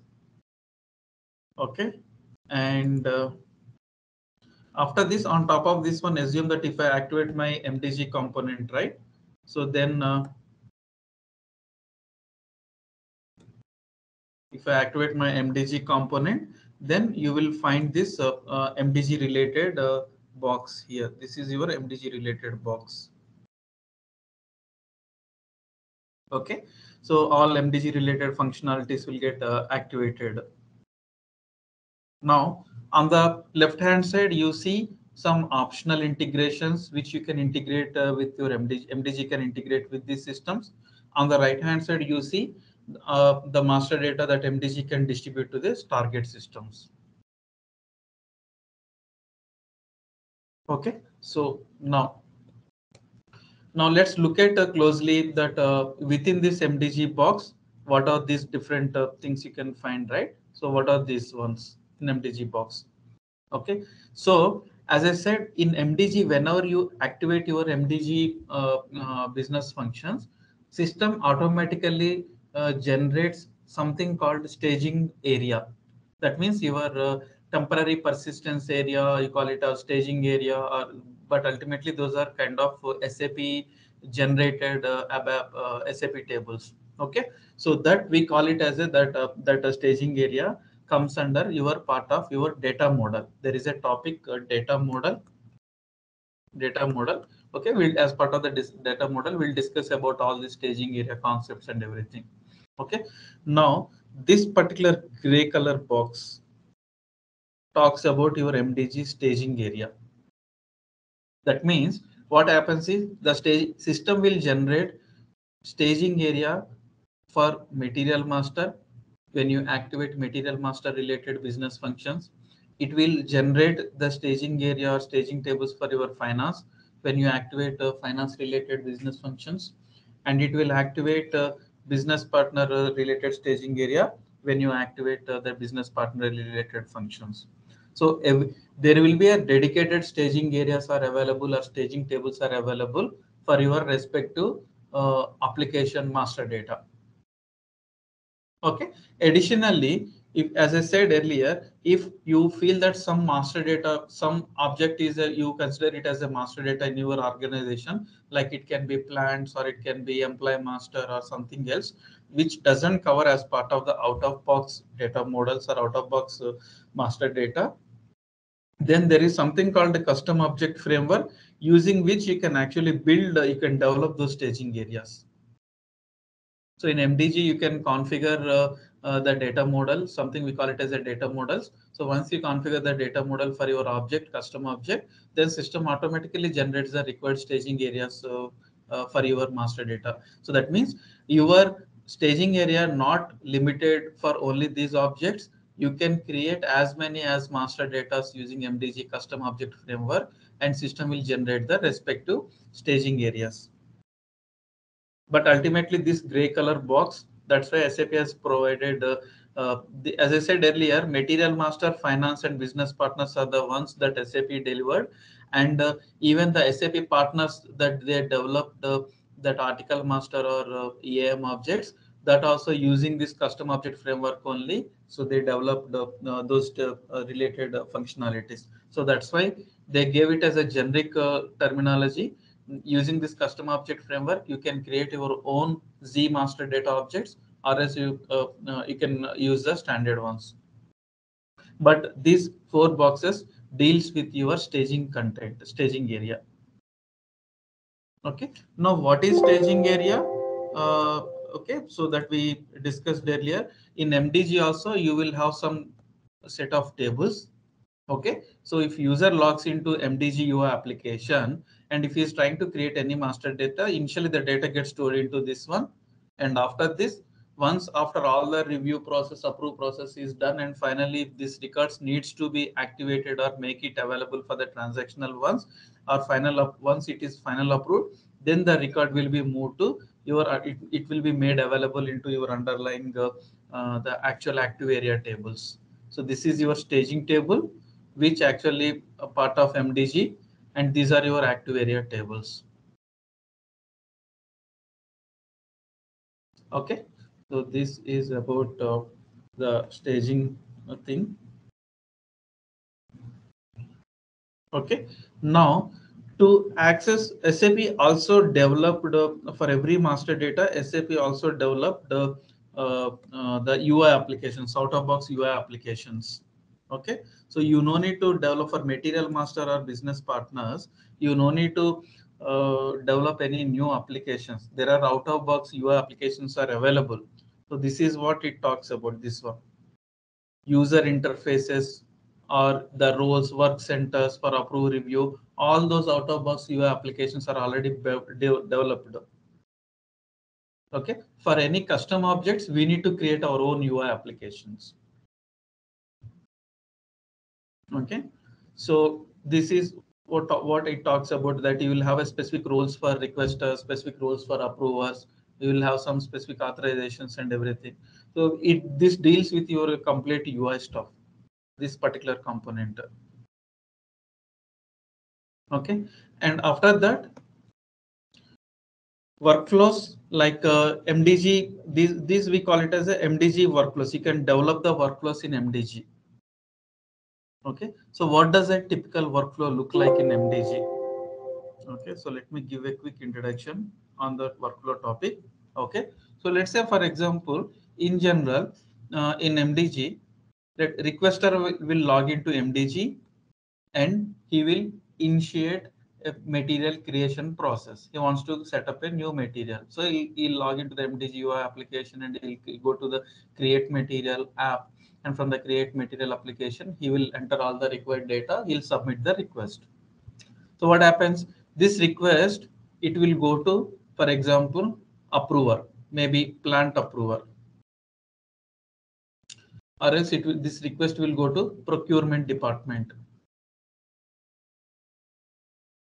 Procurement department.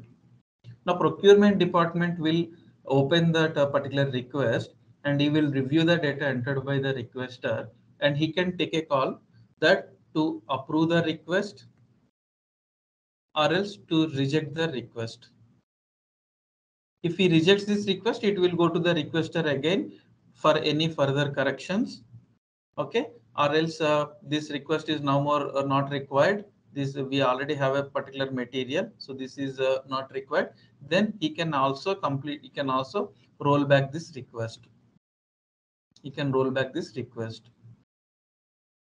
Or else if the procurement department approves this, it will assume that it will go to the sales department.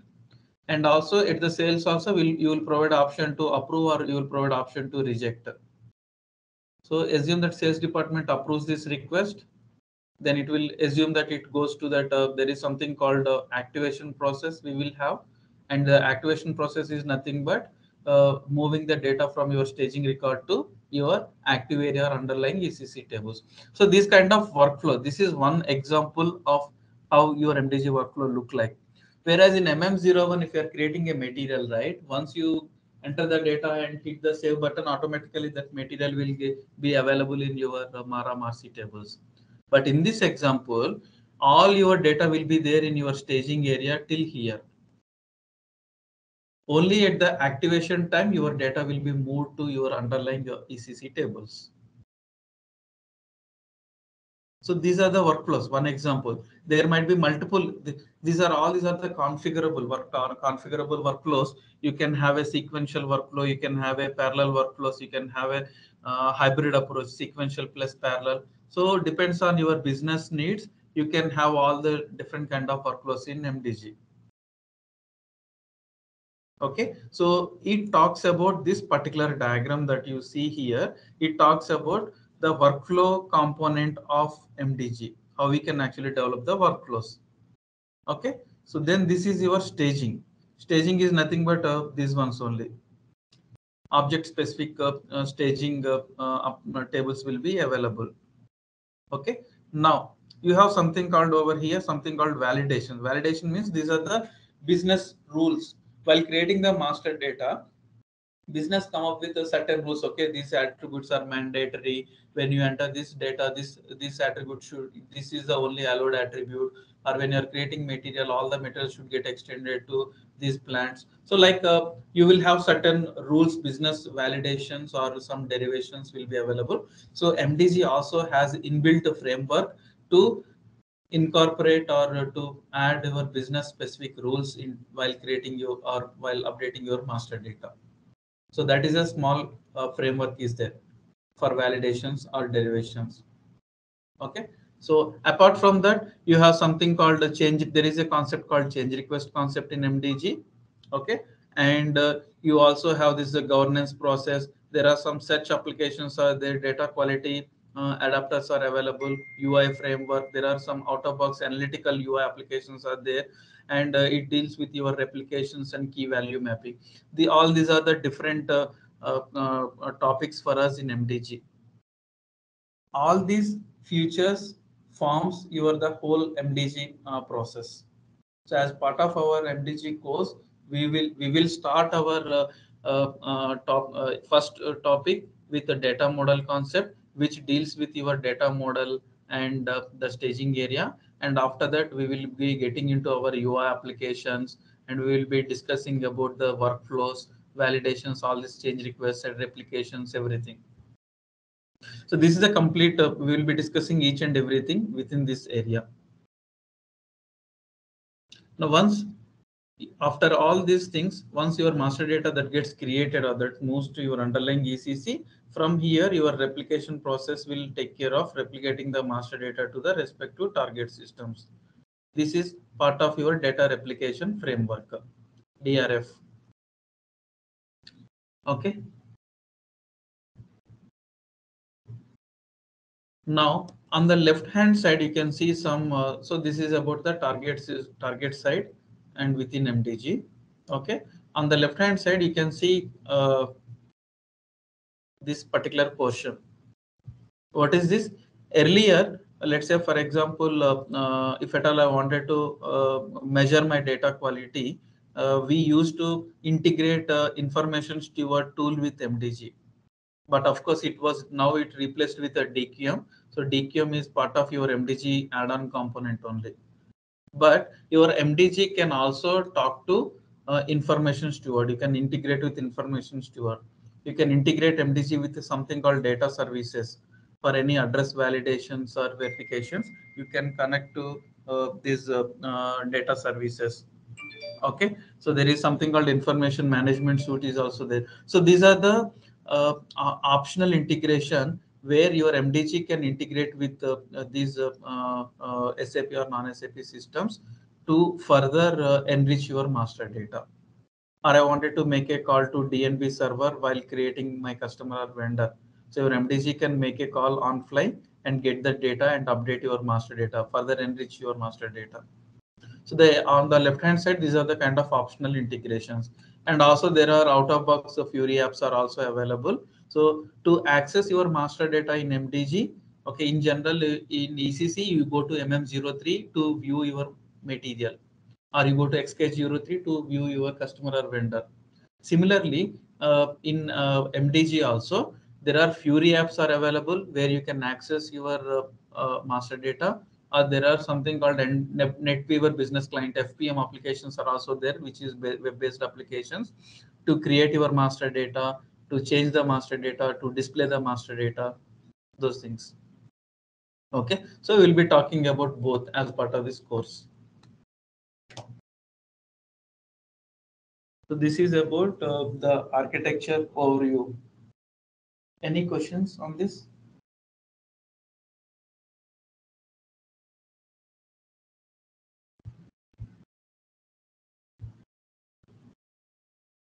This is clear.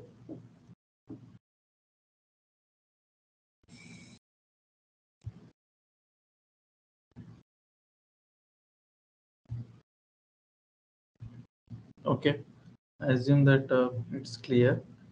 Okay. Yes, Akshay. Yeah. Now, uh, so this is the this is actually not the architecture view master data.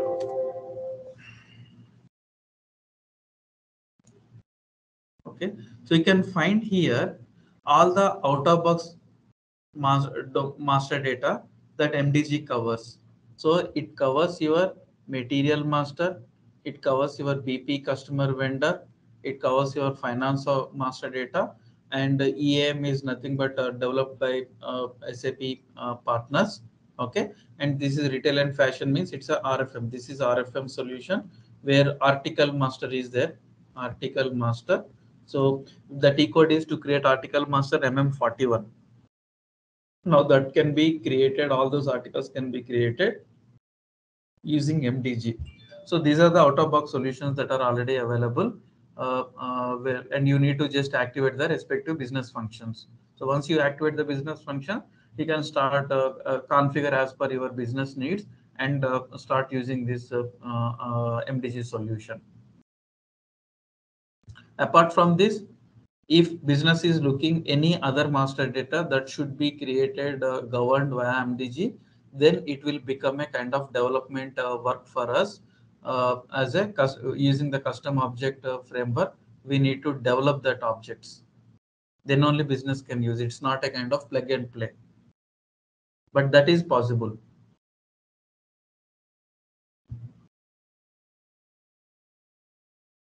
Okay. So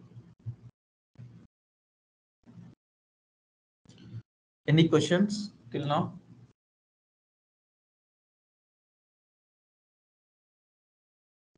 Fine. Now let's uh, get into system. Uh, wanted to show you.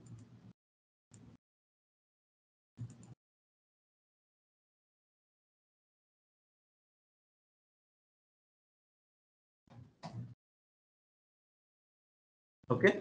So assume that uh, you have or the basis activated the mdg business functions and then uh, uh, everything. Now where I can see uh, where I can do all the configurations related to MDG. If it is an ECC normal, you will go to SPRO configuration. Under the SPRO configuration, you will find all your logistics or related or finance related or enterprise structure related, all these configurations, SPRO configurations. Okay, so MDG specific configurations also available over here. Uh, uh, it should be under cross application component. Under cross application component, you will have something called processes and tools. Here you find this MDG, master data governance. So under this, you will be doing all the configurations. You can find here central governance, here you can look at all these uh, different kind of uh, configurations.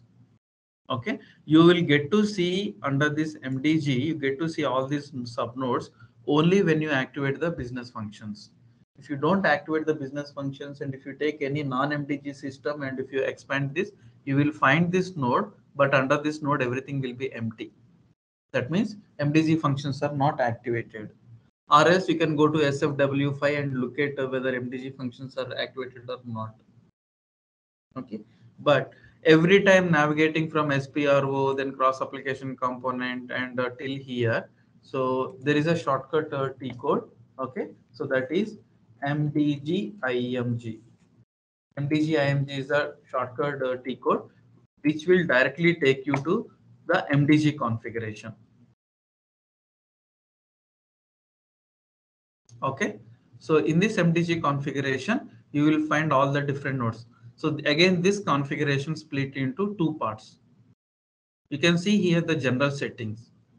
Okay, so when you expand general settings, 90% of your configurations you will do under this general settings only. Okay, you have your data model specific. Data model is one topic for us. The next topic, okay. So if you look at uh, this gray colored four boxes that which we are talking and the staging area, so that is that is covered under this data model topic. So in this data model topic, we will be designing uh, how our uh, uh model should look like and uh, based on that one finally system will automatically generate the required staging tables for you so data model is our topic because you need to have a staging area for uh, your master data to store your master data temporarily. Without staging area you cannot actually do anything in mdg of course for mm and bp the data model the data models are the those things are already available. For your custom objects you need to create your own data models. Okay, so data model topic deals with your staging content. Once your staging area is ready, then you need an UI application to create a master data that we will be discussing in the UI modeling. Okay, so once your UI model is done, ready, then you need to have your uh, something called change request process and workflows. Okay, so those all those process modeling. This is what your core of MDG, where we are discussing about that adding that governance flavor to your master data, right? So that will be done under this uh, topic, process modeling. You will be defining the process, your material creation process or material change process. You will be modeling that uh, those processes in this particular configuration. Okay, so once you configure all your processes, then it comes to your validations while creating the data, probably business will come up with their own specific rules, validations or derivations. So those validations and derivations we will be discussing under this topic. Okay, and after that we will be discussing your data replication part in both the re data replication and value mapping, key mapping. This talks about your mass processing. Okay? So all the mdg whatever we discussed in this particular architecture right? These small small boxes and this text. So these are these these all these things will be covered under this general settings. Here you will be doing for all the master data you will use this under the general setting only you will do all the configurations. Now apart from this sap also provided some specific configurations. If you are working on material master there is a specific on top of this one, once this general settings, everything you configure over here, if there are some additional configurations are there, which are specific to material master, that will be covered over here. Similarly, for your customer, business partner, finance, contract accounts, so all those configurations, uh, the objects application specific configurations are also provided over here, small, small configurations. These are very minor or less configuration but 95 percent we will be spend, spending our time under the general settings only. So this whole as part of mdg we will be covering all this this entire configuration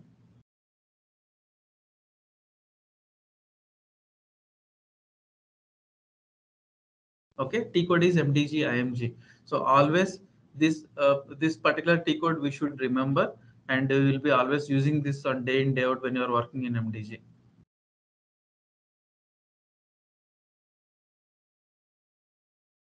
Okay, fine.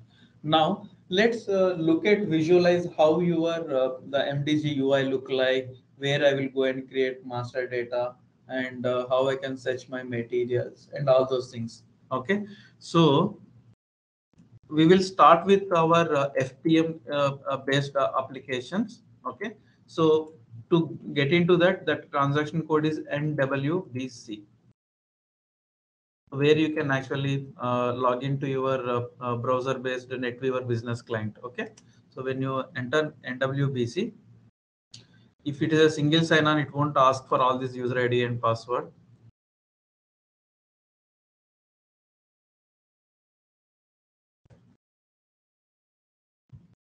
Okay, so usually it won't ask this user credentials if it is a single sign on. Okay, so you, here you will see all these different uh, roles that uh, uh, my user is having, but you can navigate to this NWBC directly. When you click on this NWBC, here you can see this is your uh, home page where depends on your authorizations, you will get to see these multiple tabs over here. Okay, so here first you look at this material governance. There is a tab called material governance because I have access to this material governance uh, I can see this one. So when I click on this material governance, this is the home page for your complete material master uh, uh, uh, governance. Okay, so here this particular page split into smaller sections. You can see at the here material processing is there.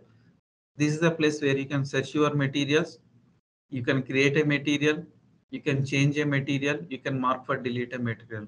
It is equivalent to your MM01 mm02 this is mm05 or 06 some transaction and you can search materials okay and uh, this in this particular section you can perform mass operations this is to deal with your individual material single objects one material by material here this section is for multiple materials. You can do perform file upload file download mass change all these things.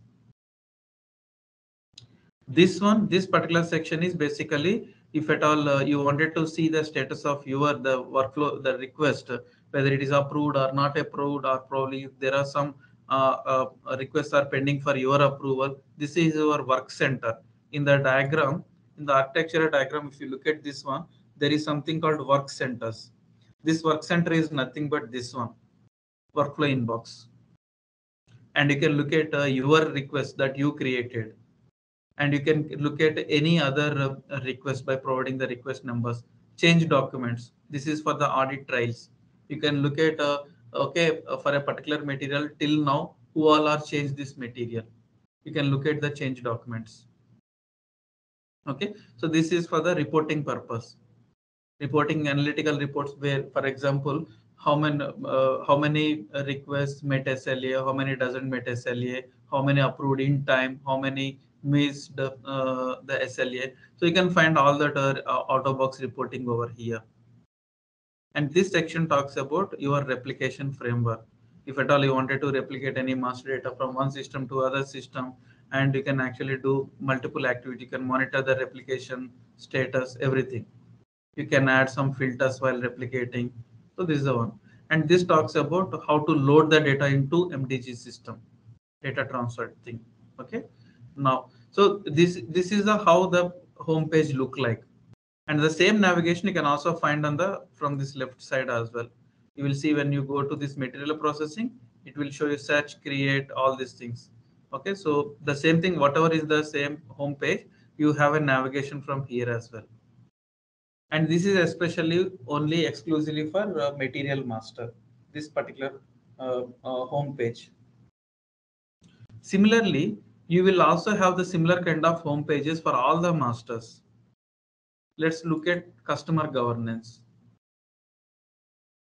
It follows the same approach. If you remember that one of that uh, consistency across that we discussed at the in MDG features, right? Consistency. Consistency means if you know the navigation for one, it, it follows the same approach. For customer master also, you have search, you have all this mass processing, you have the workflow inbox, change documents, you have that reports and replication, data loads, everything. Okay, so likewise, you can find uh, this is for the contract account uh, governance. So basically, I'm trying to show you that uh, how the home pages look like. Of course, we will go through each and every link and uh, we'll see. This is for finance accounting. Okay, so likewise, it looks that it look like the same thing. Okay, so depends on the rows that you have, the respective tabs will be enabled and you can access to those uh, uh, home pages.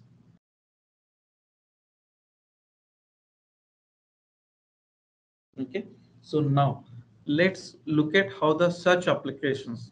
I don't think these kind of search applications are available in your ECC. All you need to go to that uh, F4 and uh, search or uh, some materials, but there is no dedicated applications provided uh, for searching any master data in ECC. But in MDG, search is a very, very powerful uh, application. You can perform lot of activities from the search application. Okay, so if I go to search material, so you can see this particular search space got split into two parts. One is the top one, your selection criteria, where you provide, you can search materials on based on different parameters. Different parameters. You can search materials. Okay. If I choose, for example,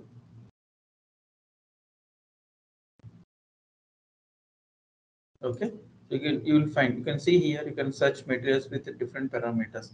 And these parameters also you can actually configure what search parameters i need to enable for the user. Depends on the business requirements. Okay? Now I, okay so this is the one. You can provide and uh, uh, then you can also search based on the classification. By class and characteristics you can add and you can perform the search. So this is your search. Provide your input criteria and click on search. So let me, let's give some test and click on search.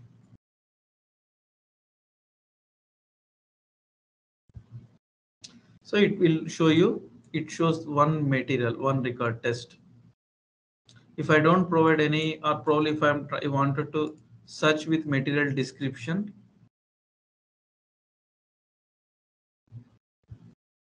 description, test, search.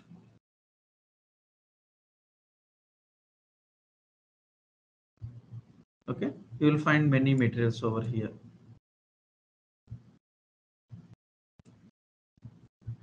Okay, so this particular result got spread across 10 pages. And we are limiting our search to 100 records. That's why 10 pages in each page, 10 records. So totally 100 records result shown over here. If at all you want more re records, you can change this to 500 or whatever the number. When you click on this, it will the result will uh, you will get more pages, more results. If there is a data, see 25. Okay, so this is your search result. So you user will provide your uh, uh, input criteria and uh, click on search. Based on that one you will get the re the re uh, result. Okay? Now uh, he from here also i can create a new material. Or else i can select existing material and i can copy. While creating i can copy with reference. Or i can perform i can select multiple materials. I can perform a mass change using these two operations I can look at the change documents that is for audit trials. Who changed what? I can also look at the replication log or from here itself you can replicate. You can look at uh, there is something called change request concept. We can look at the all the available change requests for these materials. So likewise, you can search is a centralized place or it's a kind of one stop for all your activities. This is an out of box UI that SAP provided. Similarly, if I go to the gov customer governance also, there also the same search UI application look like the same thing. The only difference is instead of material, you will have, you can search with the customer materials, customer data.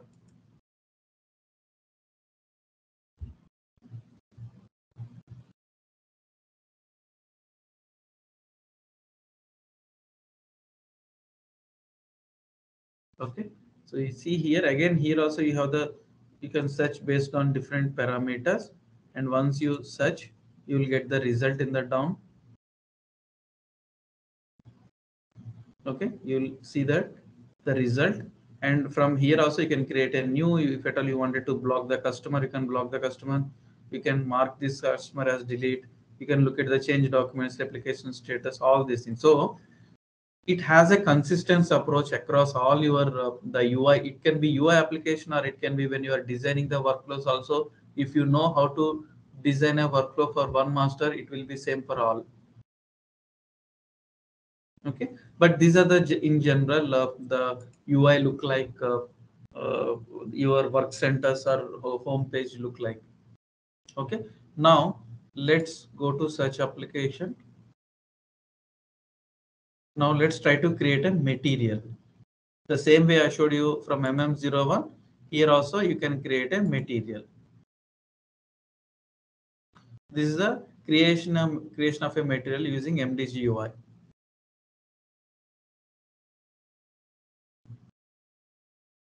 Okay, so now this we will discuss little later, change request. But from here, change management or basic data onwards, it is your uh, material related data. You can enter your material number, base unit of unit of measure, material type, industry sector. So you can enter all your. Uh, uh, uh this is equivalent to combined view of your basic data one and two of uh, MM01. Whenever if you are going to MM01, you select something like this one and material type. Okay, when you see now you see all these different views, right? This basic data one and two combined view is this one. Here you have this basic data view. Similarly, you have descriptions, dimensions. So each these these attributes are logically split, uh, similar to how you have these different tabs uh, in this UI. So here you have different uh, these kind of uh, sections. So you can create all the plants, sales related, storage locations, warehouse related, so all your plant related data you can maintain over here. You can add n number of plants over here.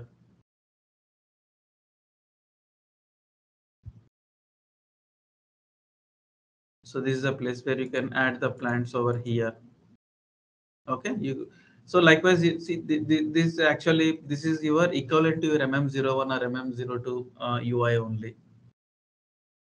There you have multiple tabs. Here you have multiple uh, sections. Uh, where the data is available. This is in collapse mode. You can expand this to see these particular uh, attributes. Okay, so this is how you create uh, materials you, in MDG. This is a standard out of box your application.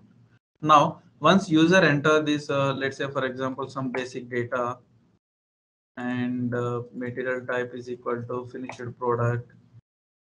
Okay, so some information and enter some description here.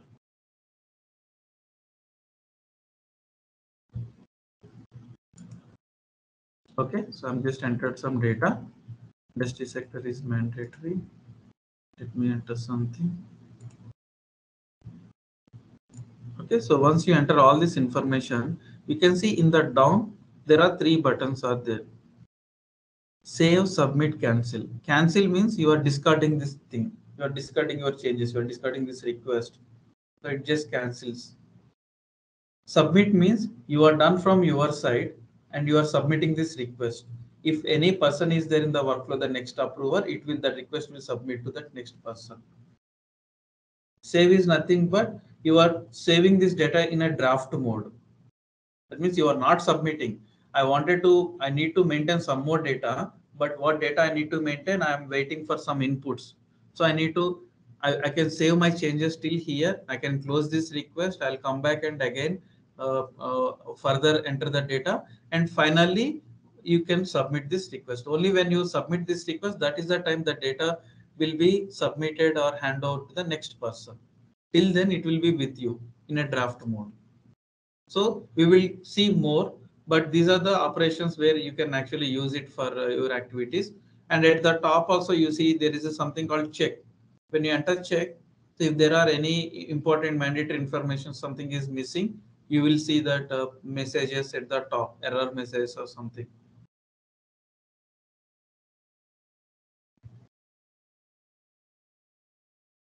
Okay, so there are some warning messages are there.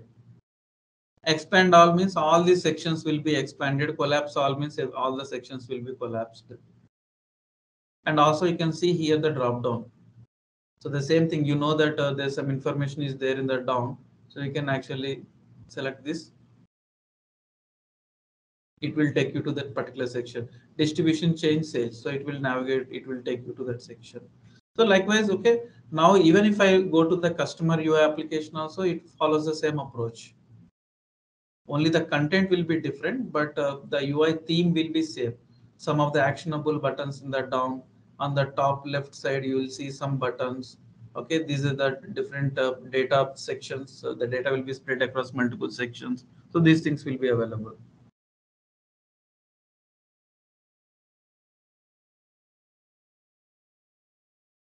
Okay, so this is this we will come back to this because uh, we in our UI topic we will be discussing more. Okay, just wanted to show you how the MDG UIs look like uh, for master data creation.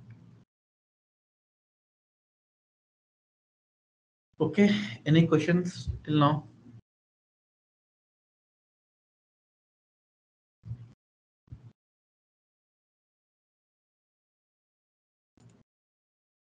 Mm, fine. So you guys are clear till now the concepts at very high level. What we are going to do, how it, what is MDG, what we are going to do in MDG. Yes, Akshay. Okay. So others. Yeah, okay, we are good. Yes, actually. Okay. Okay. yes, Great. Nice. Thank you. Thanks for the confirmation. Fine. So till here, we have seen that uh, the overview, what is the MDG architecture and the deployment mode, hub versus co-deployment, and uh, uh, then how the MDG UI look like, and uh, what are the how to enable the MDG uh, components, and all those things at very high level, right? The pros and cons of each of these approaches. What are the different out-of-box master data that will be available uh, uh, as an out-of-box solution. So those things we have seen over here till now.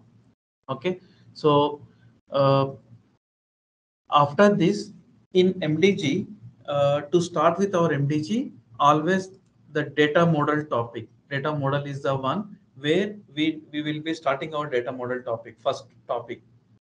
Because the data model, what happens is it, it, it talks about your staging area, staging content, how the tables will get generated, staging tables will get generated.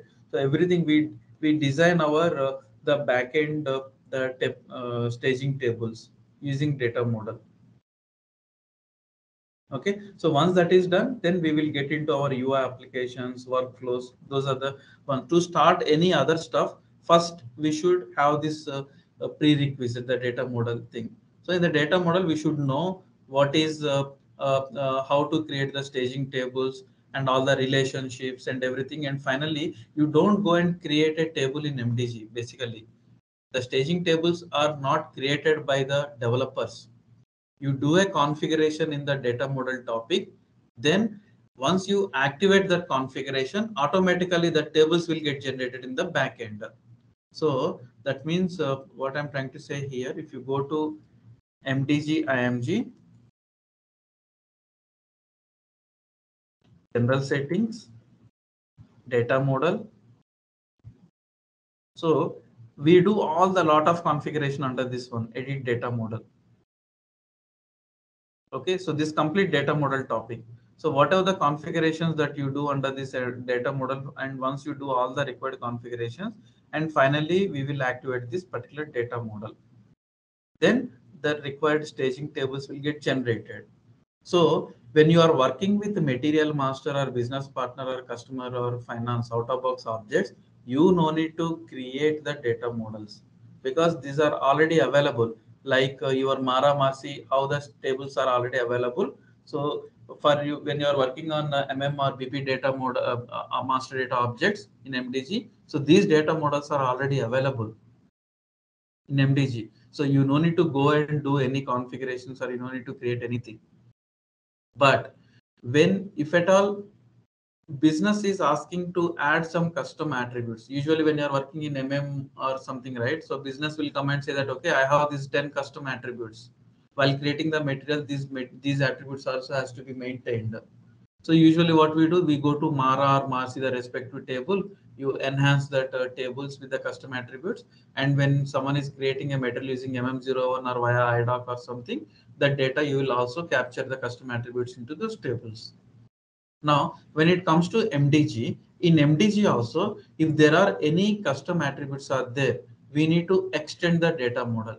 So the existing data models we need to extend when you're working on the standard objects. But when you're working on custom objects, custom object in the sense the business says that, okay, I wanted to govern a plant creation process. Then you need to go for a, a, a custom data model because there is no staging table, there is no out-of-box solution for plant or employee master, right? So that's where you will design a new data model for your custom master. Okay, so we will discuss both the scenarios. Only these are the two possible scenarios.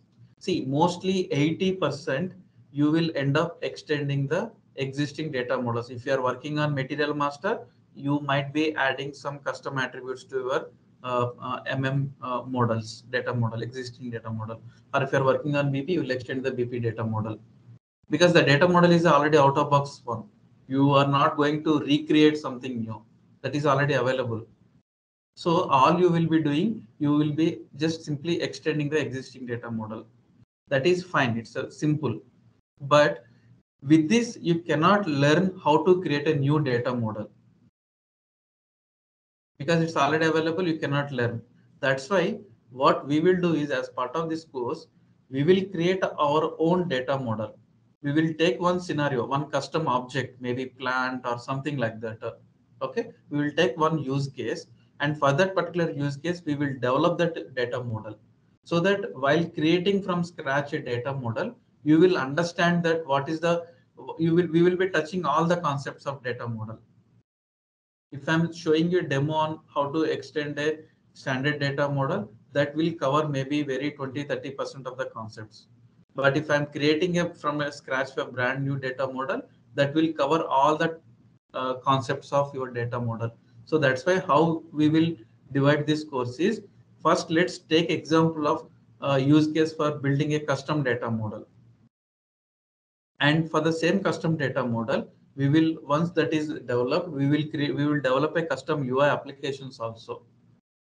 And we will develop the workflows and everything. Then parallelly, I will show you how we can do the similar extension part for material or BPR customer or finance objects. So we will take both parallelly side by side.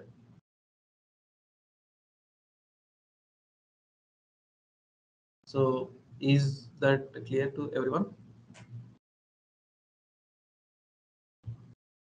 Yes, Akshay. Yeah. Fine. So now, before getting into that actual data model concept, there is one small, uh, uh, let me show you first. So data model, if you go to edit data model, this is the training system. So you will find uh, multiple uh, data models over here, like uh, S-Flight data model, someone is practicing, but the standard ones are these three. This, this is for your material master object. So in the UI that I showed you, material creation UI, right? If I enter this data and if I click submit or save button, this particular data gets stored into the, the on the front end side you it looks like a data model but in the back end it has a staging tables. It represents your complete material master staging area. This represents your complete bp customer vendor staging area. This represents your financial staging area. So once i enter all the data on the ui and click save or submit then the data gets stored into these respective staging tables in the back end. So you need to do all these configurations to complete your data model. Okay, so now this we will discuss. We will. I'll, uh, this is a completely technical topic. Uh, I would say mostly MDG is a 70 to 80 percent. It's a technical topic. Uh, very less on the functional side.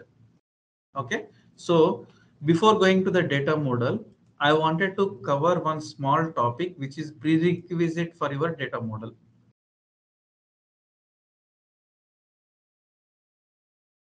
Okay, flex versus reuse mode. So I think this topic will take uh, some time, probably uh, half an hour uh, discussion. I think probably for the first day, I feel that it will be too much for you, too many concepts or something. We will take a, we will give a logical break till here.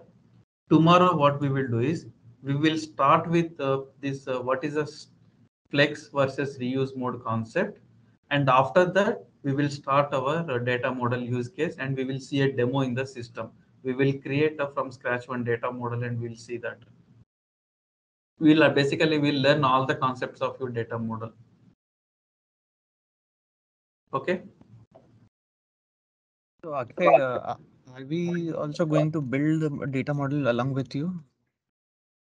Uh, I will show you here uh, how to create a data model because while creating the data model, I'll be explaining so many concepts over there. So we will, uh, uh, while explaining that, I will also parallelly create the data model. And you can always refer during your uh, uh, time.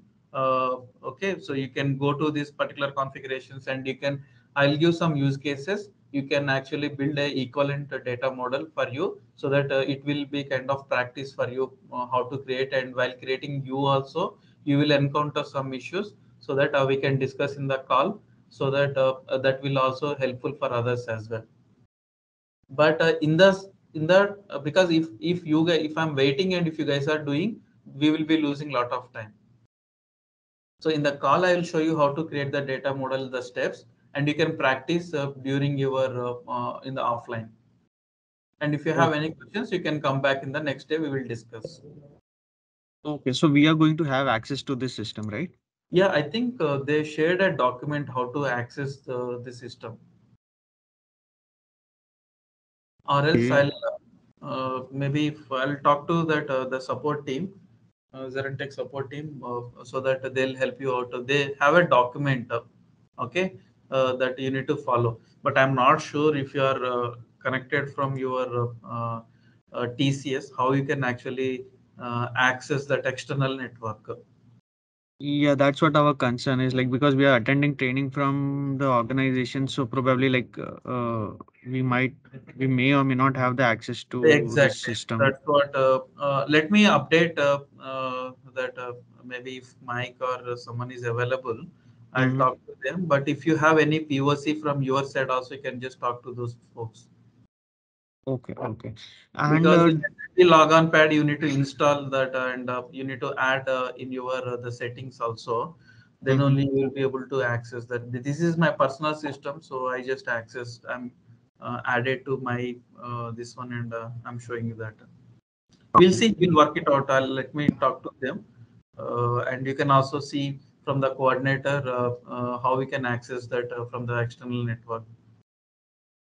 Okay, okay. And uh, do you have like a day-wise uh, schedule, like what all topics you're going to cover?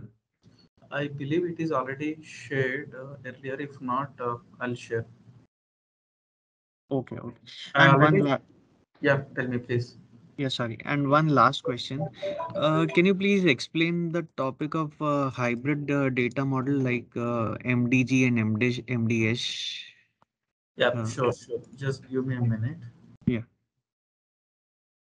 So you are asking for that to repeat that MDG, MDC, all those things, right? Uh, yes, please. Okay, sure, sure, no problem. Okay, so as I said earlier, so assume that this is your the normal SAP uh, ECC or ERP system, where it's an S4 or ECC system.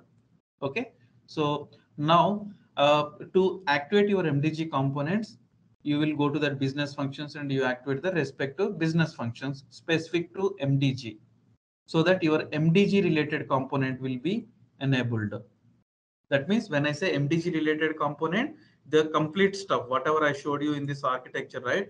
The respective staging areas and the workflows, out of box workflows, out of box change requests, all these UI applications, everything will become active. Akshay, can you please share your screen? Oh, sorry, I'm not sharing.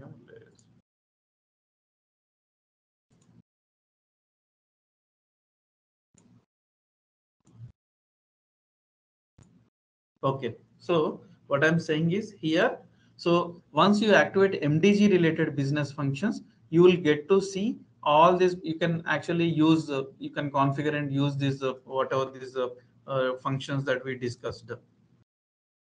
These ones in the architecture diagram we discussed, right? So all these things can be, you can uh, uh, configure and you can start using this. That means MD, MDG specific stuff.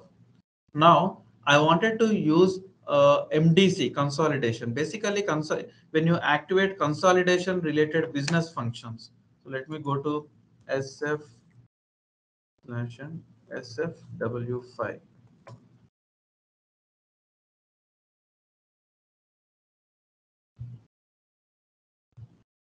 So I showed you that uh, earlier. Uh, so there you have the different business functions, MDG business functions and uh, consolidation business functions. So when you activate consolidation business functions, again, as part of the consolidation, there are certain UI applications, certain processes that SAP introduced that will be enabled or that will be used only when you activate these consolidation business functions. What are those things? Like you can perform some consolidation activities. There are some mass apps are enabled, which are uh, very uh, performance uh, uh, uh, I mean, optimized UI applications to perform the bulk updates. Those apps are available in your consolidation, uh, comes as part of consolidation. You cannot use those things directly with MDG. You need to enable your MDC, then you can use the whatever the features that are available on MDC, those features you can use this one on MDC. Similarly, for the DQM, no need to activate. Actually, when you activate your consolidation, it also enables the DQM related features. There is no separate uh, business functions for DQM. So when you activate the consolidation business functions, your DQM features, your consolidation features will be available. These are the add-ons, additional, optional, and uh, add-ons for your MDG. But the core MDG, this is what your 90% of the uh, uh, the governance lies over here these are SAP added as a kind of fancy terminology and they provided some fancy UIs. Of course, DQM has some uh, advantages. Consolidation also, the majorly will be using the mass apps in the consolidation.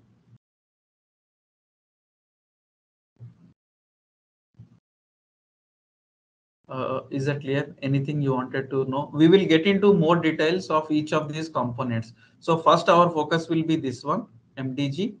And once we are clear with all these MDG concepts, then we'll get into consolidation and DQM. Because this this plays 90% of the course, and this is very 10%, I would say.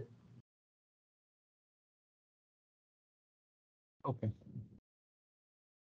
Thank you. Okay. Okay. Yeah. So, any uh, other questions from anyone? If no questions, uh, we can close for today and uh, let's uh, uh, connect back on tomorrow same time. Okay? Thank you all. Have a great day. Okay. Thank you all. Have a great day. Bye. Thank you for attending the session. I hope you all enjoyed it. Don't forget to visit our Vimeo page and follow for more upcoming videos.